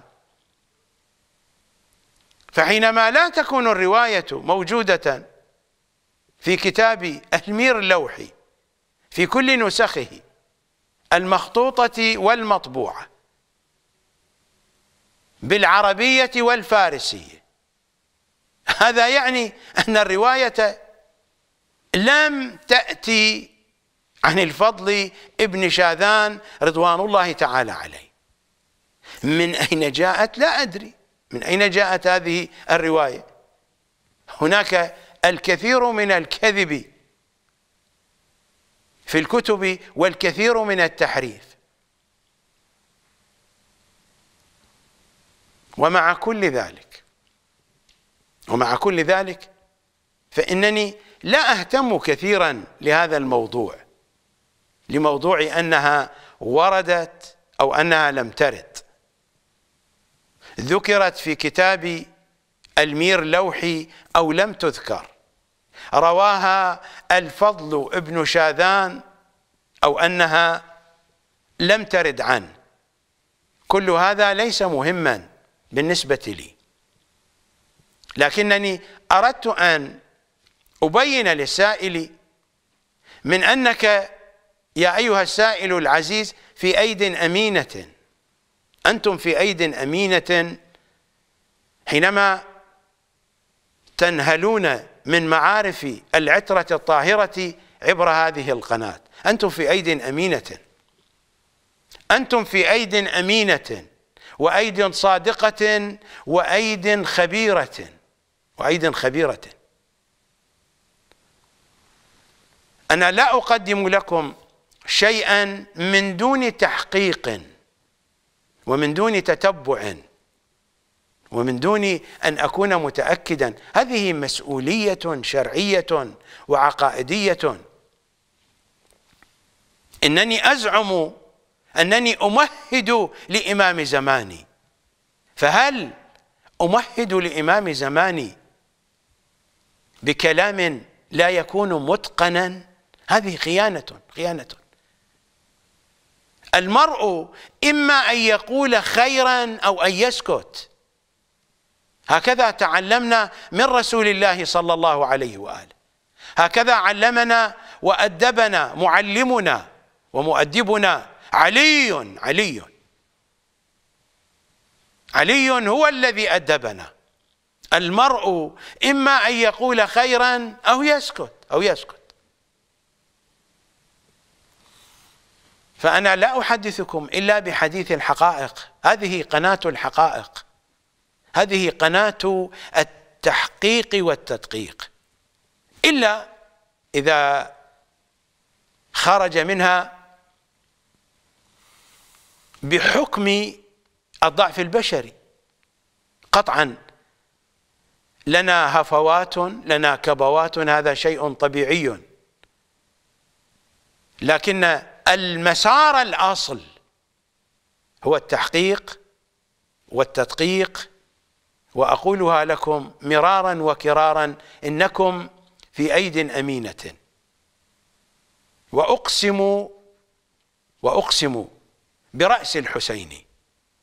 إذا ما أحسست بأنني لا أستطيع أن أقدم لكم بهذا المستوى بسبب مرض أو تقدم في السن أو لأي طارئ لأي عارض فإنني سأغلق فمي وسأغلق هذه القناة. أقسم برأس الحسين. كي تعرفوا من أن الذي يوضع على سفرة هذه القناة على سفرتها العلمية وعلى سفرتها الدينية وعلى سفرتها الثقافية من اشهى الأطعمة إنها من الطعام الحلال الطيب. أما هذا الخراء هذا خراء وما هو بحديث. وسأثبت لكم أن هذا خراء. ولا يمكن ولا يمكن لمنابع الذهب. أتحدث عن العترة الطاهرة؟ أن يصدر عنها مثل هذا الخراء. هذا خراء هذا. وبغض النظر عن المصادر حتى لو وجدت الرواية في نسخة مخطوطة أصلية من كتاب إثبات الرجعة. للفضل ابن شاذان فإنني لا أصدق أن الفضل ابن شاذان العالم الجليل والراوية الخبير أن ينقل هذا الخراء وينسبه إلى إمامنا الباقر. صلوات الله وسلامه عليه. لكنني كما بينت في الحلقة الماضية من أن مشكلة الشيعة في علاقتها مع إمام زماننا في العقيدة السليمة. وما دامت الشيعة تتخبط ما بين دوامتين دوامة ما ورثناه عن الآباء والأجداد من دين وثقافة ودوامة الرئاسة. أكان الشيعي يطلب الرئاسة بنفسه أو كان مرؤوسا يصنم العجول. يصنم العجول الرؤساء. فإن هؤلاء لن يدركوا العقيدة السليمة. مثل هذا الخراء يؤتى به ويلقى على الذهب المصفى. على حديث أهل البيت رواية غيبة النعماني في قيام المشرقيين كلمات المعصومين من دون تغيير. نص عربي متماسك نحويا وصرفيا ولغويا وبلاغيا. أما هذا النص هذا النص ليس عربيا. هذا النص ليس عربيا. هذا النص لا علاقة له بلغة العرب. لا أدري أية لغة هذه. هذه ما هي بلغة عربية؟ هذا النص لا يخضع للقواعد النحوية ولا يخضع للقواعد الصرفية. ولا يخضع للقواعد اللغوية ولا يخضع للقواعد البلاغية. هذا النص ليس عربيا. لا علاقة له باللغة العربية. حروفه عربية. بعض كلماته عربية. الجاهل يحسبه من اللغة العربية. لكنني لا أتلمس اللغة العربية فيه مطلقا. الموجود هنا في غيبة النعماني ذهب مصفى ذهب إبريس إبريس. وهذا خراء مصفى. فكيف ينسجم الخراء مع الذهب؟ وكيف يحكم على الذهب بالخراء إلا إذا كانت العقول خرائية؟ وإنما تكون العقول خرائية. حينما تكون مقدسة لعجولها. حينما تكون غاطسة في دوامة الرئاسة التي ستحول فيما بينها وبين إدراك العقيدة السليمة. أنا لا أعبأ بموقف سياسي لهذه الجهة أو تلك. لا أعبأ بهذه الحكومة أو تلك. الذي أعبأ به أنني أبحث عن إمامي. الذي أعبأ به أنني أقدس أحاديث أئمتي. وأتعامل معها عبر منهجهم عبر قواعدهم. أينما تقودني فإنني أسلم لها. لا أبالي أتأخذني إلى أعدى أعدائي فإنني أذهب إليهم. أتبعدني عن أحب أحبتي إلي فإنني أبتعد.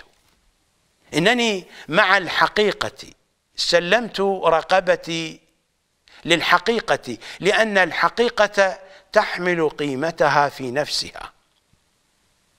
أما هؤلاء الجهال الذين يأتون بهذا الخراء يلوثون الذهب الإبريز فإنهم ينطلقون من مواقف سياسية من اتجاهات سياسية من اتباع لهذا المرجع العجل القذر أو ذلك المرجع الكلب. هكذا تجري الأمور. أنا لا أبالي بكل هذا. أبالي بشأن إمامي وأبالي بأحاديث أئمتي وأبالي بالطريقة التي تعلمتها منهم في فهم أحاديثهم. وأبحث عن الواقع وعن التاريخ. وإنني أفلتر كل ذلك كي أصل إلى النتيجة الواضحة بحدود استطاعتي. أما أن تقول لي فهل يمكن أن نحمل هذه الرواية هذه. هذه ما هي رواية؟ هذه قطعة من الخراء. هذه قطعة من الخراء. هذه ما هي برواية؟ الرواية تصدر عن منابع الذهب عن منابع الطهر والفكر عن محمد وأهل محمد.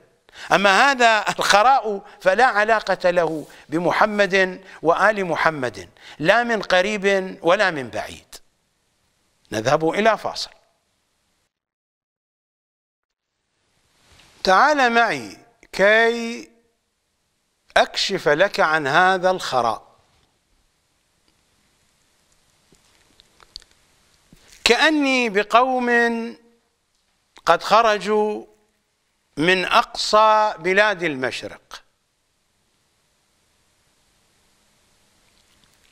الرواية لا تستحق المقارنة مع ما جاء في غيبة النعماني ولكن الذي جاء في غيبة النعماني إنهم يخرجون من المشرق. وهنا الحديث عن أقصى بلاد المشرق. المكان مختلف.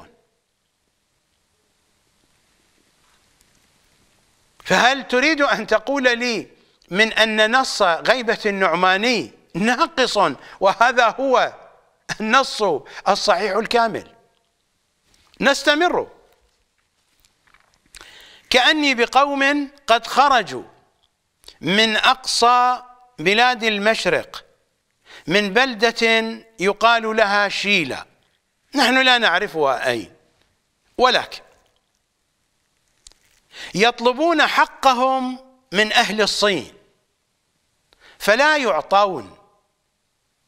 هذه ما هي بجملة عربية تأتي منسجمة وفق قواعد بلاغة الكلام لأننا نتحدث عن محمد وآل محمد هم سادة البلغاء. فكيف يذكرون جملة ناقصة؟ أين المفعول به؟ المفعول به لا بد أن يذكر في الجملة خصوصا إذا ذكر في الكلام متقدما ولا يحذف إلا لحكمة. ما هي الحكمة من حذف المفعول به هنا؟ لا توجد حكمة لأن الذي سطر هذا الكلام ما هو بعربي.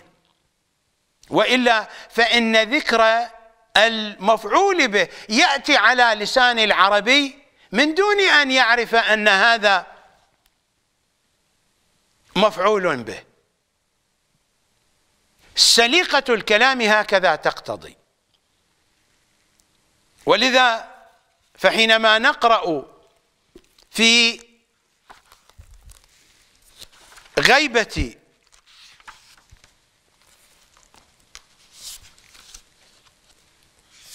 النعماني بخصوص رواية المشرقيين يطلبون الحق الحق مفعول به فلا يعطونه. الضمير هنا يعود على الحق. ذكر المفعول به فلا يعطونه الجملة هنا تخالف قواعد البلاغة العربية. يطلبون حقهم من أهل الصين فلا يعطون. هذه جملة ناقصة. والقضية لا تقف عند هذه الجملة حيث أحتمل احتمال أن النقص جاء من النساخ لأن الأمر يتكرر على طول الرواية. يطلبون حقهم من أهل الصين فلا يعطون. الجملة ليست بليغة ليست عربية. لا يمكن أن تصدر عن المعصوم. ثم يطلبونه فلا يعطون. الخطأ يتكرر. لأن يطلبونه ذكر المفعول به وهو الهاء الضمير. ثم يطلبونه فلا يعطون. هذه ما هي بجملة عربية؟ لأن قوام الجملة العربية أساسا فعل وفاعل ومفعول به. بعض الجمل ليس فيها من مفعول به. يكون قوامها بفعل وفاعل. فلا يوجد مفعول به أساسا. ولكن إذا كان قوام الجملة يتألف من فعل وفاعل ومفعول به لن تكون جملة صحيحة حتى يذكر المفعول به. وإذا ما حذف فلا بد من وجود علة لا بد من وجود حكمة. ولا توجد علة ولا حكمة هنا إلا جهل الذي كتب الكلام هذا بالعربيه إلا جهله بالعربيه كأني بقوم قد خرجوا من أقصى بلاد المشرق من بلدة يقال لها شيلا يطلبون حقهم من أهل الصين فلا يعطون. هنا خلل. ثم يطلبونه فلا يعطون. هنا خلل. فإذا رأوا ذلك وضعوا سيوفهم على عواتقهم. فرضوا بإعطاء ما سألوه فلم يقبلوا. من هم الذين رضوا؟ ومن هم الذين أعطوا؟ ومن هم الذين لم يقبلوا؟ هذا ما هو بكلام عربي. دققوا النظر في الرواية. أقول للسائلين دققوا النظر في الرواية في مصدرها. هل تفهمون هذا الكلام؟ هذا ما هو بكلام عربي. فإذا رأوا ذلك وضعوا سيوفهم على عواتقهم فرضوا بإعطاء ما سألوه فلم يقبلوا. وقتلوا منهم خلقا كثيرا. من هو القاتل ومن هو المقتول؟ من هو القاتل ومن هو المقتول؟ هناك قواعد للتمييز. من هو الفاعل؟ من هو المفعول به؟ أين المسند وأين المسند إليه؟ أين العامل وأين المعمول في هذه الجمل؟ لا يوجد عامل ولا يوجد معمول. ولذلك لا تفهم هذه الجمل. أئمتنا هكذا أمرونا. أئمتنا أمرونا كما نقرأ في الكاف الشريف. إنه الجزء الأول من الكاف الشريف. من الطبعة نفسها التي أشرت إليها قبل قليل. في الصفحة الثالثة والسبعين. الحديث الثالث عشر بسنده. عن جميل بن دراج عن إمامنا الصادق صلوات الله وسلامه عليه أعرب حديثنا فإنا قوم فصحاء. نحن لا نتكلم إلا الكلام الفصيح فأعربوه. المراد من الإعراب الإعراب النحوي الإعراب الصرفي والمراد من الإعراب الإعراب اللغوي والإعراب الإلقائي حينما نتلفظه حينما نلقي الرواية أن تلقى في أعلى مستويات الفصاحة والإلقاء. والإعراب الإعراب المعنوي حينما نشرحها نشرحها وفقا للغة الصحيحة ووفقا لقواعد النحو والصرف ووفقا لقواعد البلاغة العربية المتينة. أعربوا حديثنا فإنا قوم فصحاء أين العامل وأين المعمول في هذه الجمل؟ وأين الفاعل وأين المفعول؟ هذه التراكيب ليست عربية. من هنا قلت لكم هذا خراء وما هو بنص؟ حتى يسألني السائل فيقول فهل يمكن أن نهمل هذه الرواية ونتمسك بالرواية الأصل؟ كيف تقارن يا عزيزي بين الذهب الإبريز وبين الخراء المتعفن؟ أما أولئك الذين يحكمون بهذه الرواية على تلك الرواية فعقولهم مشحونة بالخراء المتعفن. هؤلاء جهال وأعمتهم الصنمية ولا يفقهون شيئا لا من حديث العترة الطاهرة ولا من العربية الفصيحة الصحيحة. أنا أعرف من هؤلاء. هذا الكلام ليس جديدا بالمناسبة. هذا الكلام نحن نسمعه منذ الثمانينات. هذه الرواية كانت توزع في مدينة قوم منذ الثمانينات هذا ليس جديدا. هذه المطالب أنا اشتغلت عليها منذ الثمانينات منذ كنت في العشرينات من العمر.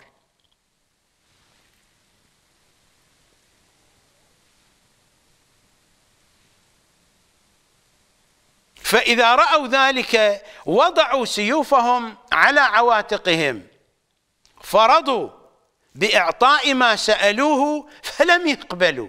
من هم هؤلاء الذين رضوا؟ ومن هم الذين أعطوا؟ ومن هم الذين لم يقبلوا؟ فرضوا بإعطاء ما سألوه فلم يقبلوا وقتلوا منهم خلقا كثيرا. من هو القاتل ومن هو المقتول؟ هذه التراكيب ليست عربية بالمطلق بالمطلق. يا أيها الناس هذه أوامر الأئمة أعربوا كلامنا أعربوا حديثنا فإنا قوم فصحاء. ثم يسخرون بلاد الترك والهند كلها. هذا التعبير ليس موجودا في قواعد الاستئناس اللغوي. ليس مستأنسا. لا في القرآن. عودوا إلى القرآن. عودوا إلى القرآن وتتبعوا هذا الفعل. يسخر. عودوا إلى نهج البلاغة وتتبعوا هذا الفعل. يسخر. عودوا إلى الروايات والأحاديث. هذا الفعل لا يستعمل بهذه الطريقة. لا يستعمل في فتح البلدان وفي السيطرة عليها. شاع في الأزمنة المتأخرة وجاءنا منتقلا من اللغة الفارسية. في اللغة الفارسية يوجد هذا المعنى. من أن السيطرة على البلدان هي عملية تسخير تسخر البلدان. الكلام البليغ لا بد أن يكون ضمن قواعد الاستئناس اللغوي. قد يصح هذا المعنى لغويا. فنقول يسخرون بلاد الترك أي يخدعونهم. ولكن هذا الكلام ليس مستأنسا. في المحاورات الأدبية العربية. وبعد ذلك نحويا التركيب خاطئ. يفترض أن يكون ثم يسخر وليس يسخرون. فهذا فعل من الأفعال الخمسة. يجزم بحذف النون وهذه ثم عاطفة. الأفعال السابقة كانت مجزومة. فلم يقبلوا. هذا فعل مجزوم. وهذه ثم عاطفة. عاطفة بالعطف التراتبي. فلم يقبلوا ثم يسخروا وليس يسخرون. الفعل يأتي هنا مجزوما لأنه معطوف على فعل مجزوم. وهذه قواعد عطف الفعل على الفعل. فهذا الذي كتب هذا الكلام لا يعرف هذه القواعد. ثم يسخرون بلاد الترك والهند كلها ويتوجهون هذا أيضا ليس صحيحا ويتوجه لأن الواو عاطفة هنا فإنها تعطف على ما قبلها.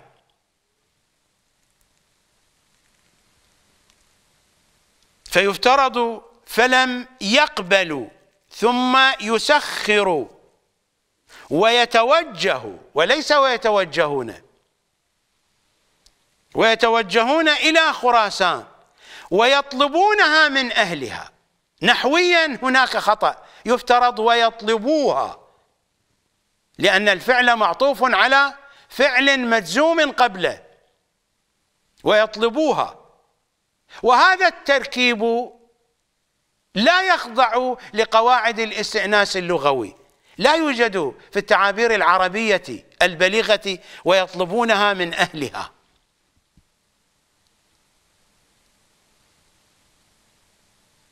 هذا التعبير ليس بليغا.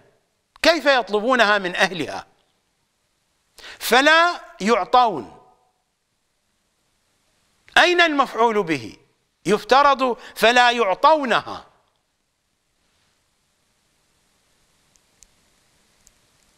فيأخذونها قهرا.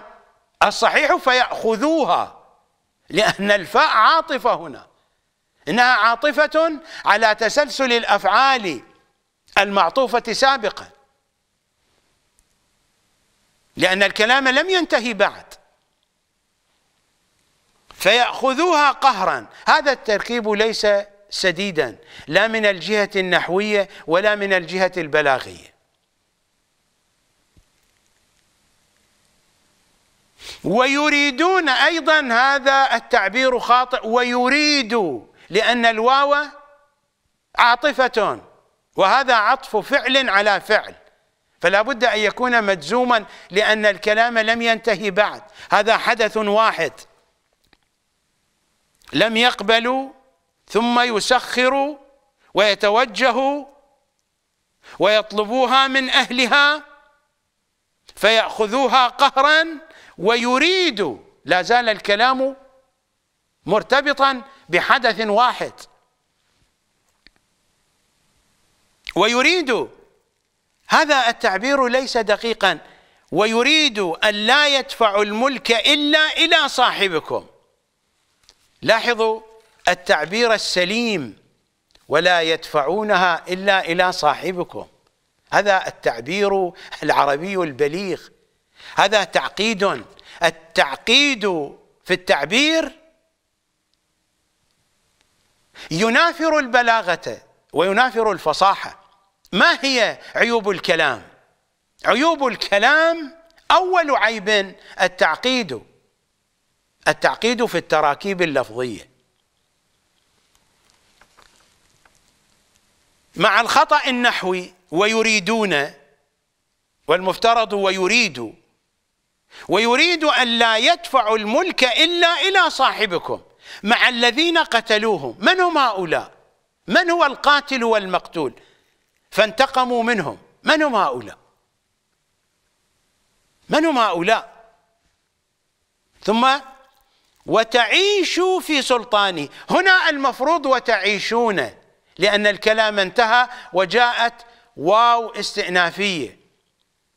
بعد الواو الاستئنافية ينقطع العطف النسقي وهو العطف بالحروف. لأن العطف نوعان في العربية. هناك عطف البيان وهناك عطف النسق. عطف البيان له قواعده وعطف النسق وهو عطف الحروف. له قواعده أيضا. هذه الواو استئنافية. بعد الواو الاستئنافية يبدأ الكلام جديدا. الأفعال التي يفترض أن تحذف منها النون أثبت لها النون والأفعال التي يفترض أن تكون النون موجودة حذف منها النون وتعيش في سلطانه يفترض وتعيشون. وتعيشون في سلطانه إلى آخر الدنيا. أين الرجعة؟ أين الرجعة؟ آخر الدنيا الرجعة. الدولة المحمدية العظمى. فكيف نعيش في سلطان المهدي إلى آخر الدنيا؟ هذه عقيدة النواصب من أن الدنيا تنتهي بانتهاء الحكم المهدوي. ولذلك قلت لكم هذا خراء هذا ما هو بنص روائي أصلا ما هو بنص عربي بعيدا عن الروايات. ما هو بنص عربي؟ هذا الكلام ليس مفهوما لأنه لا يخضع لقواعد النحو وقواعد الصرف وقواعد اللغة وقواعد البلاغة. أنا لم أحلل النص بشكل كامل لأنه لا يستحق التحليل وإلا فهو يخالف القواعد النحوية. والقواعد الصرفية والقواعد اللغوية والقواعد البلاغية. إلا أنني ذكرت جانبا من عيوبه. هكذا هو الواقع. حقائق أحاديث العترة الطاهرة هكذا تواجه من قبل الشيعة. وهكذا هؤلاء هم سيواجهون إمام زماننا صلوات الله وسلامه عليه. نذهب إلى فاصل. في غيبة النعماني في الطبعة نفسها صفحة 308 إنه الحديث الثالث. بسنده بسند النعماني عن إمامنا الصادق صلوات الله وسلامه عليه إن القائم إن القائم صلوات الله عليه يلقى في حربه ما لم يلقى رسول الله لأن رسول الله صلى الله عليه وآله أتاهم وهم يعبدون الحجارة المنقورة. والخشبة المنحوتة وإن القائمة يخرجون عليه فيتأولون عليه كتاب الله ويقاتلون عليه. هذا الأمر يجري الآن على حديث العترة الطاهرة. كل جاهل لأنه يقدس عجله يحارب حقائق حديث العترة الطاهرة. لأنه يريد أن تشرح الأحاديث بحسب هوى عجله. هكذا تجري الأمور. ولذا أقول لطالبي الحقيقة عليكم أن تكونوا أحرارا. حرروا عقولكم. حرروا عقولكم. من قذارات عجول المرجعية في النجف وكربلاء. حرروا عقولكم.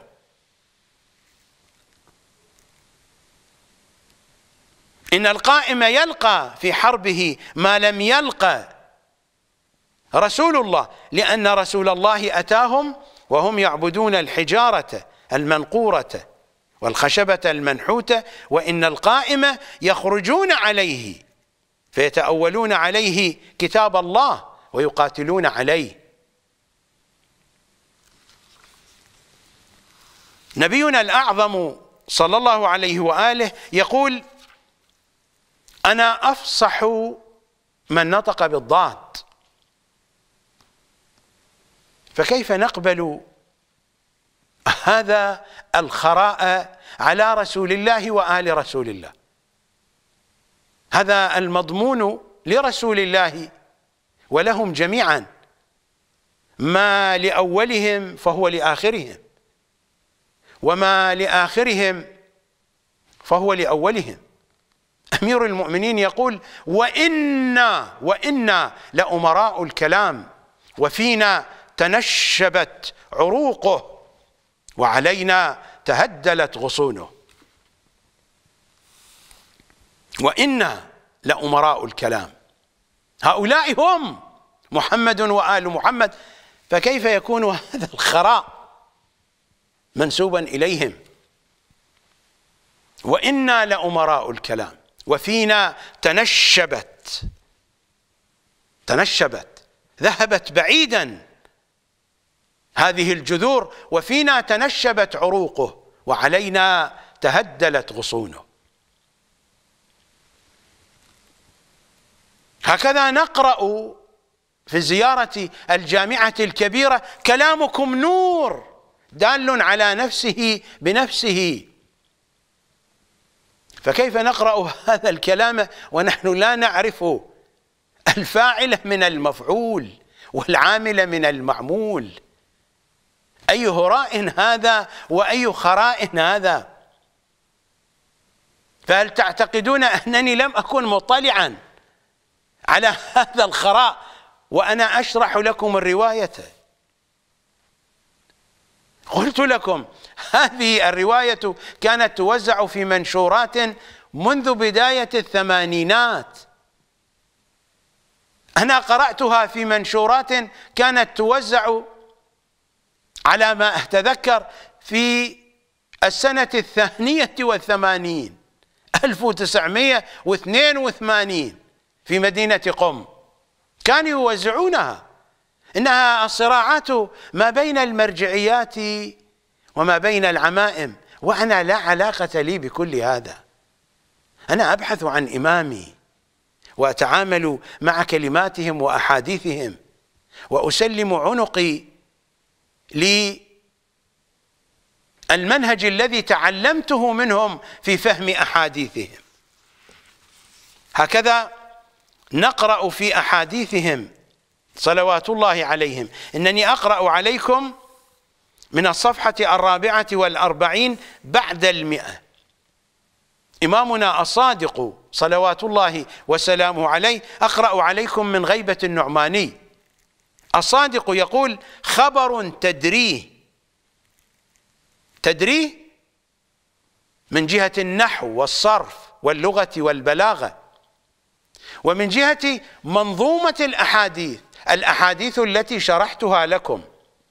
وهذا الحديث بالذات كان جزءا من منظومة حديثية متكاملة. خبر تدريه خير من عشر ترويه من عشرة أخبار ترويها. هناك خلل في هذا الحديث. قطعا هذا الخلل من النساخ ويوجد خلل كثير في الأحاديث. إن إن لكل حق حقيقة ولكل صواب نورا. ثم قال إنا والله لا نعد الرجل من شيعتنا فقيها حتى يلحن له. فيعرف اللحن. حتى يلحن له فيعرف اللحن.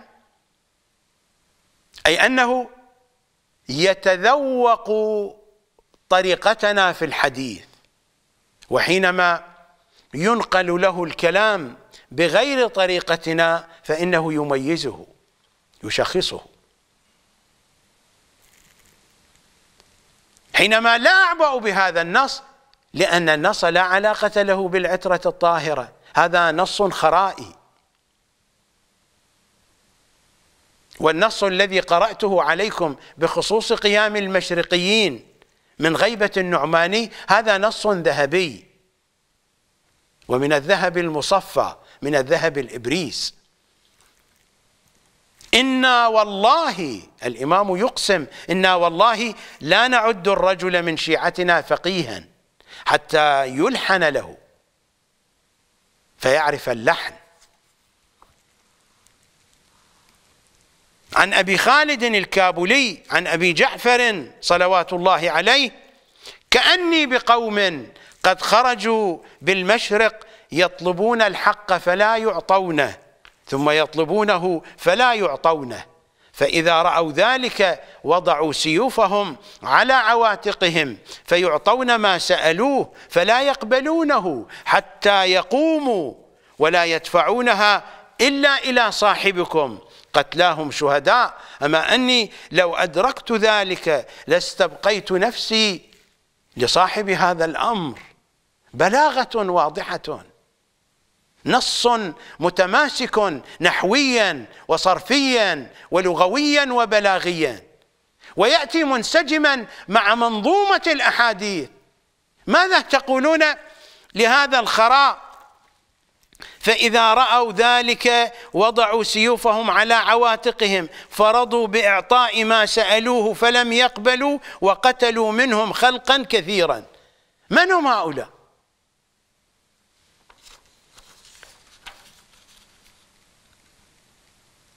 أين هذه البلاغة من هذا الخراء الذي لا معنى له؟ هكذا نقرأ في أحاديثهم الشريفة. إنني أقرأ عليكم من الجزء الأول من بحار الأنوار للمجلس المتوفى سنة 1111 وهذه طبعة دار إحياء التراث العربي بيروت. لبنان في الصفحة الحادية والستين بعد المئة الباب الخامس الحديث الأول. عن إمامنا الرضا صلوات الله وسلامه عليه إني أحب أن يكون المؤمن محدثا. قال قلت إنه عبيد بن هلال هو الذي يقول. قال قلت وأي شيء المحدث؟ قال المفهم. أما هذا الذي يعتقد أن الرواية هذه التي هي كلام خرائي هي من حديث العترة الطاهرة فهذا ما هو بمفهم؟ هذا مثول مثول. فعندنا المؤمن المفهم وعندنا المؤمن المثول. لقد ثولته عقيدة آبائه.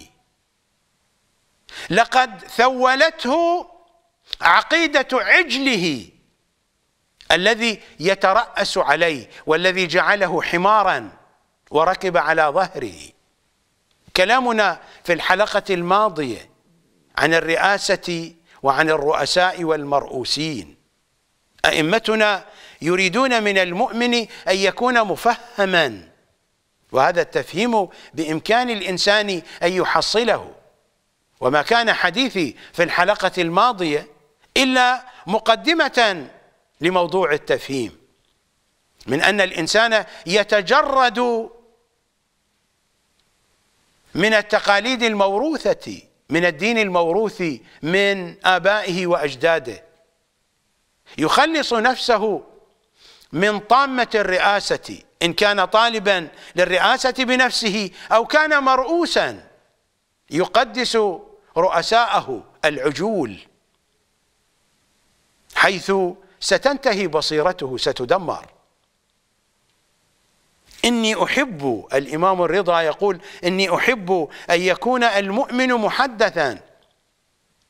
قال قلت وأي شيء المحدث؟ قال المفهم.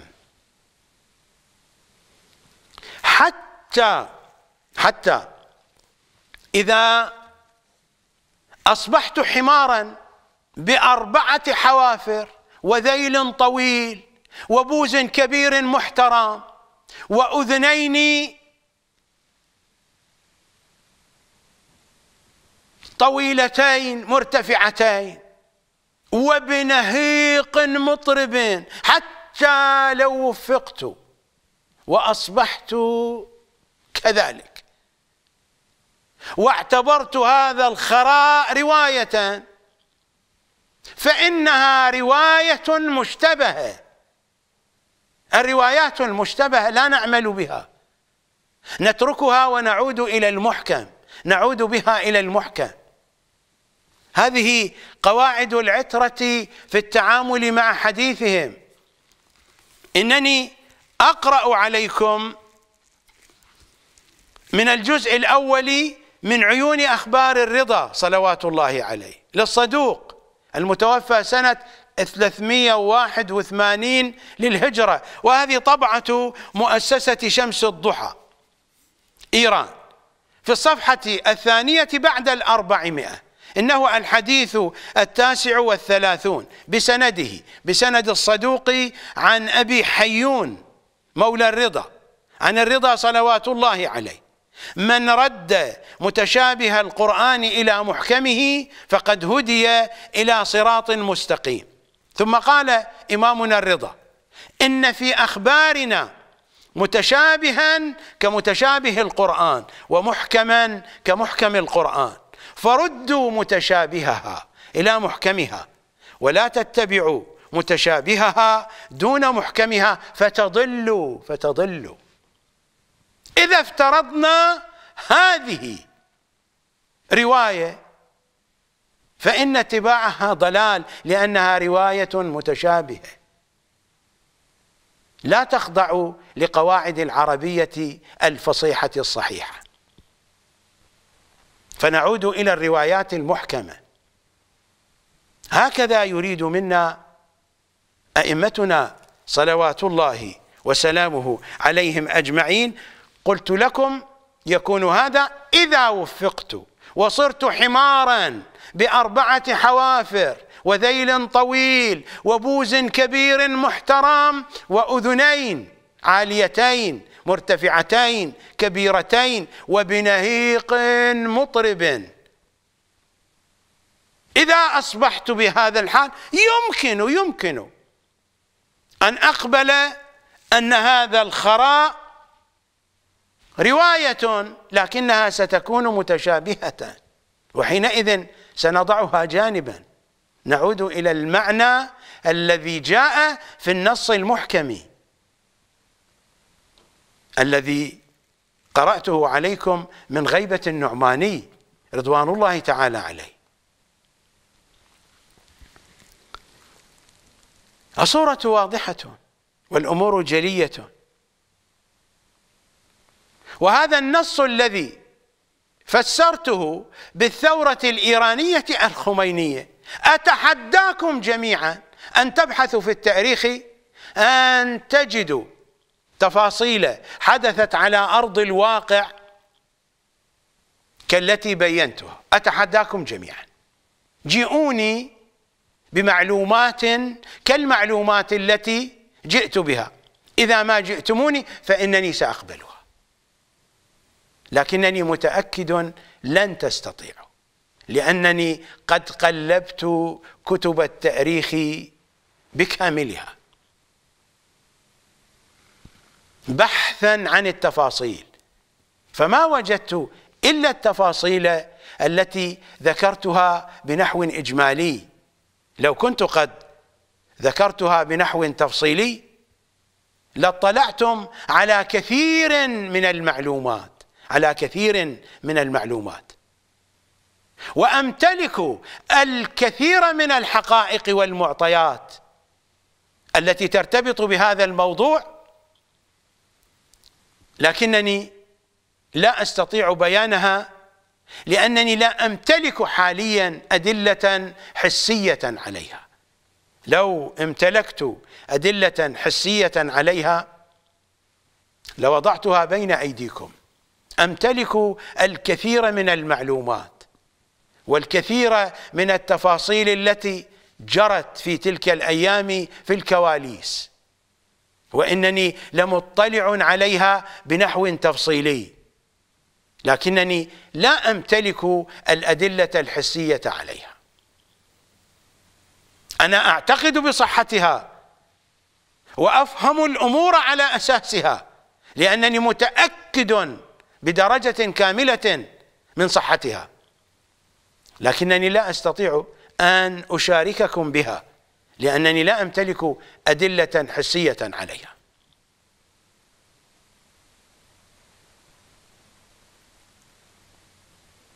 أما أني لو أدركت ذلك لو أدركت قيام المشرقيين باقر العلوم يقول لاستبقيت نفسي لصاحب هذا الأمر وهذا الذي أقوم به هو جزء من الاستبقاء. إنها عملية التمهيد لإمام زماننا صلوات الله وسلامه عليه كل بحسبه. نموت على هذه النية فإنها أفضل نية نموت عليها. ليس ضروريا أن ندرك أيام الظهور. الضروري أن نعمل ليلا ونهارا لأجل إمام زماننا. الضروري أن نستيقظ على هذه النية وأن ننام على هذه النية وأن نعمل بهذه النية وأن نموت على هذه النية. ليس ضروريا أن يظهر الإمام في أيامنا وليس ضروريا أن نكون جنودا في جيشه أن نكون عبيدا في فنائه. عند الظهور الشريف. الضروري أن نكون في المقام والموقف الذي يريد الإمام منا أن نكون فيه. فماذا يريد الإمام منا ونحن في هذا الزمان في زمان غيبته؟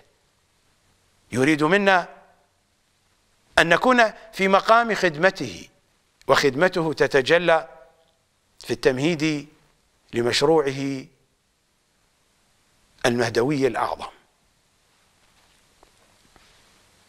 وقت الحلقة صار طويلا وكان في نيتي أن أستمر في الحديث في هذا الموضوع لكنني أتوقف عند هذه النقطة. نلتقي غدا إن شاء الله تعالى على أمل أن تكون قلوبنا مفعمة بالحماس لخدمة إمام زماننا. صلوات الله وسلامه عليه بحكمة يمانية ومعرفة زهرائية. زهرائيون نحن يا بقية الله. زهرائيون نحن يا أم الحسن والحسين. زهرائيون نحن والهوى. والهوى زهرائي. أسألكم الدعاء جميعا في أمان الله.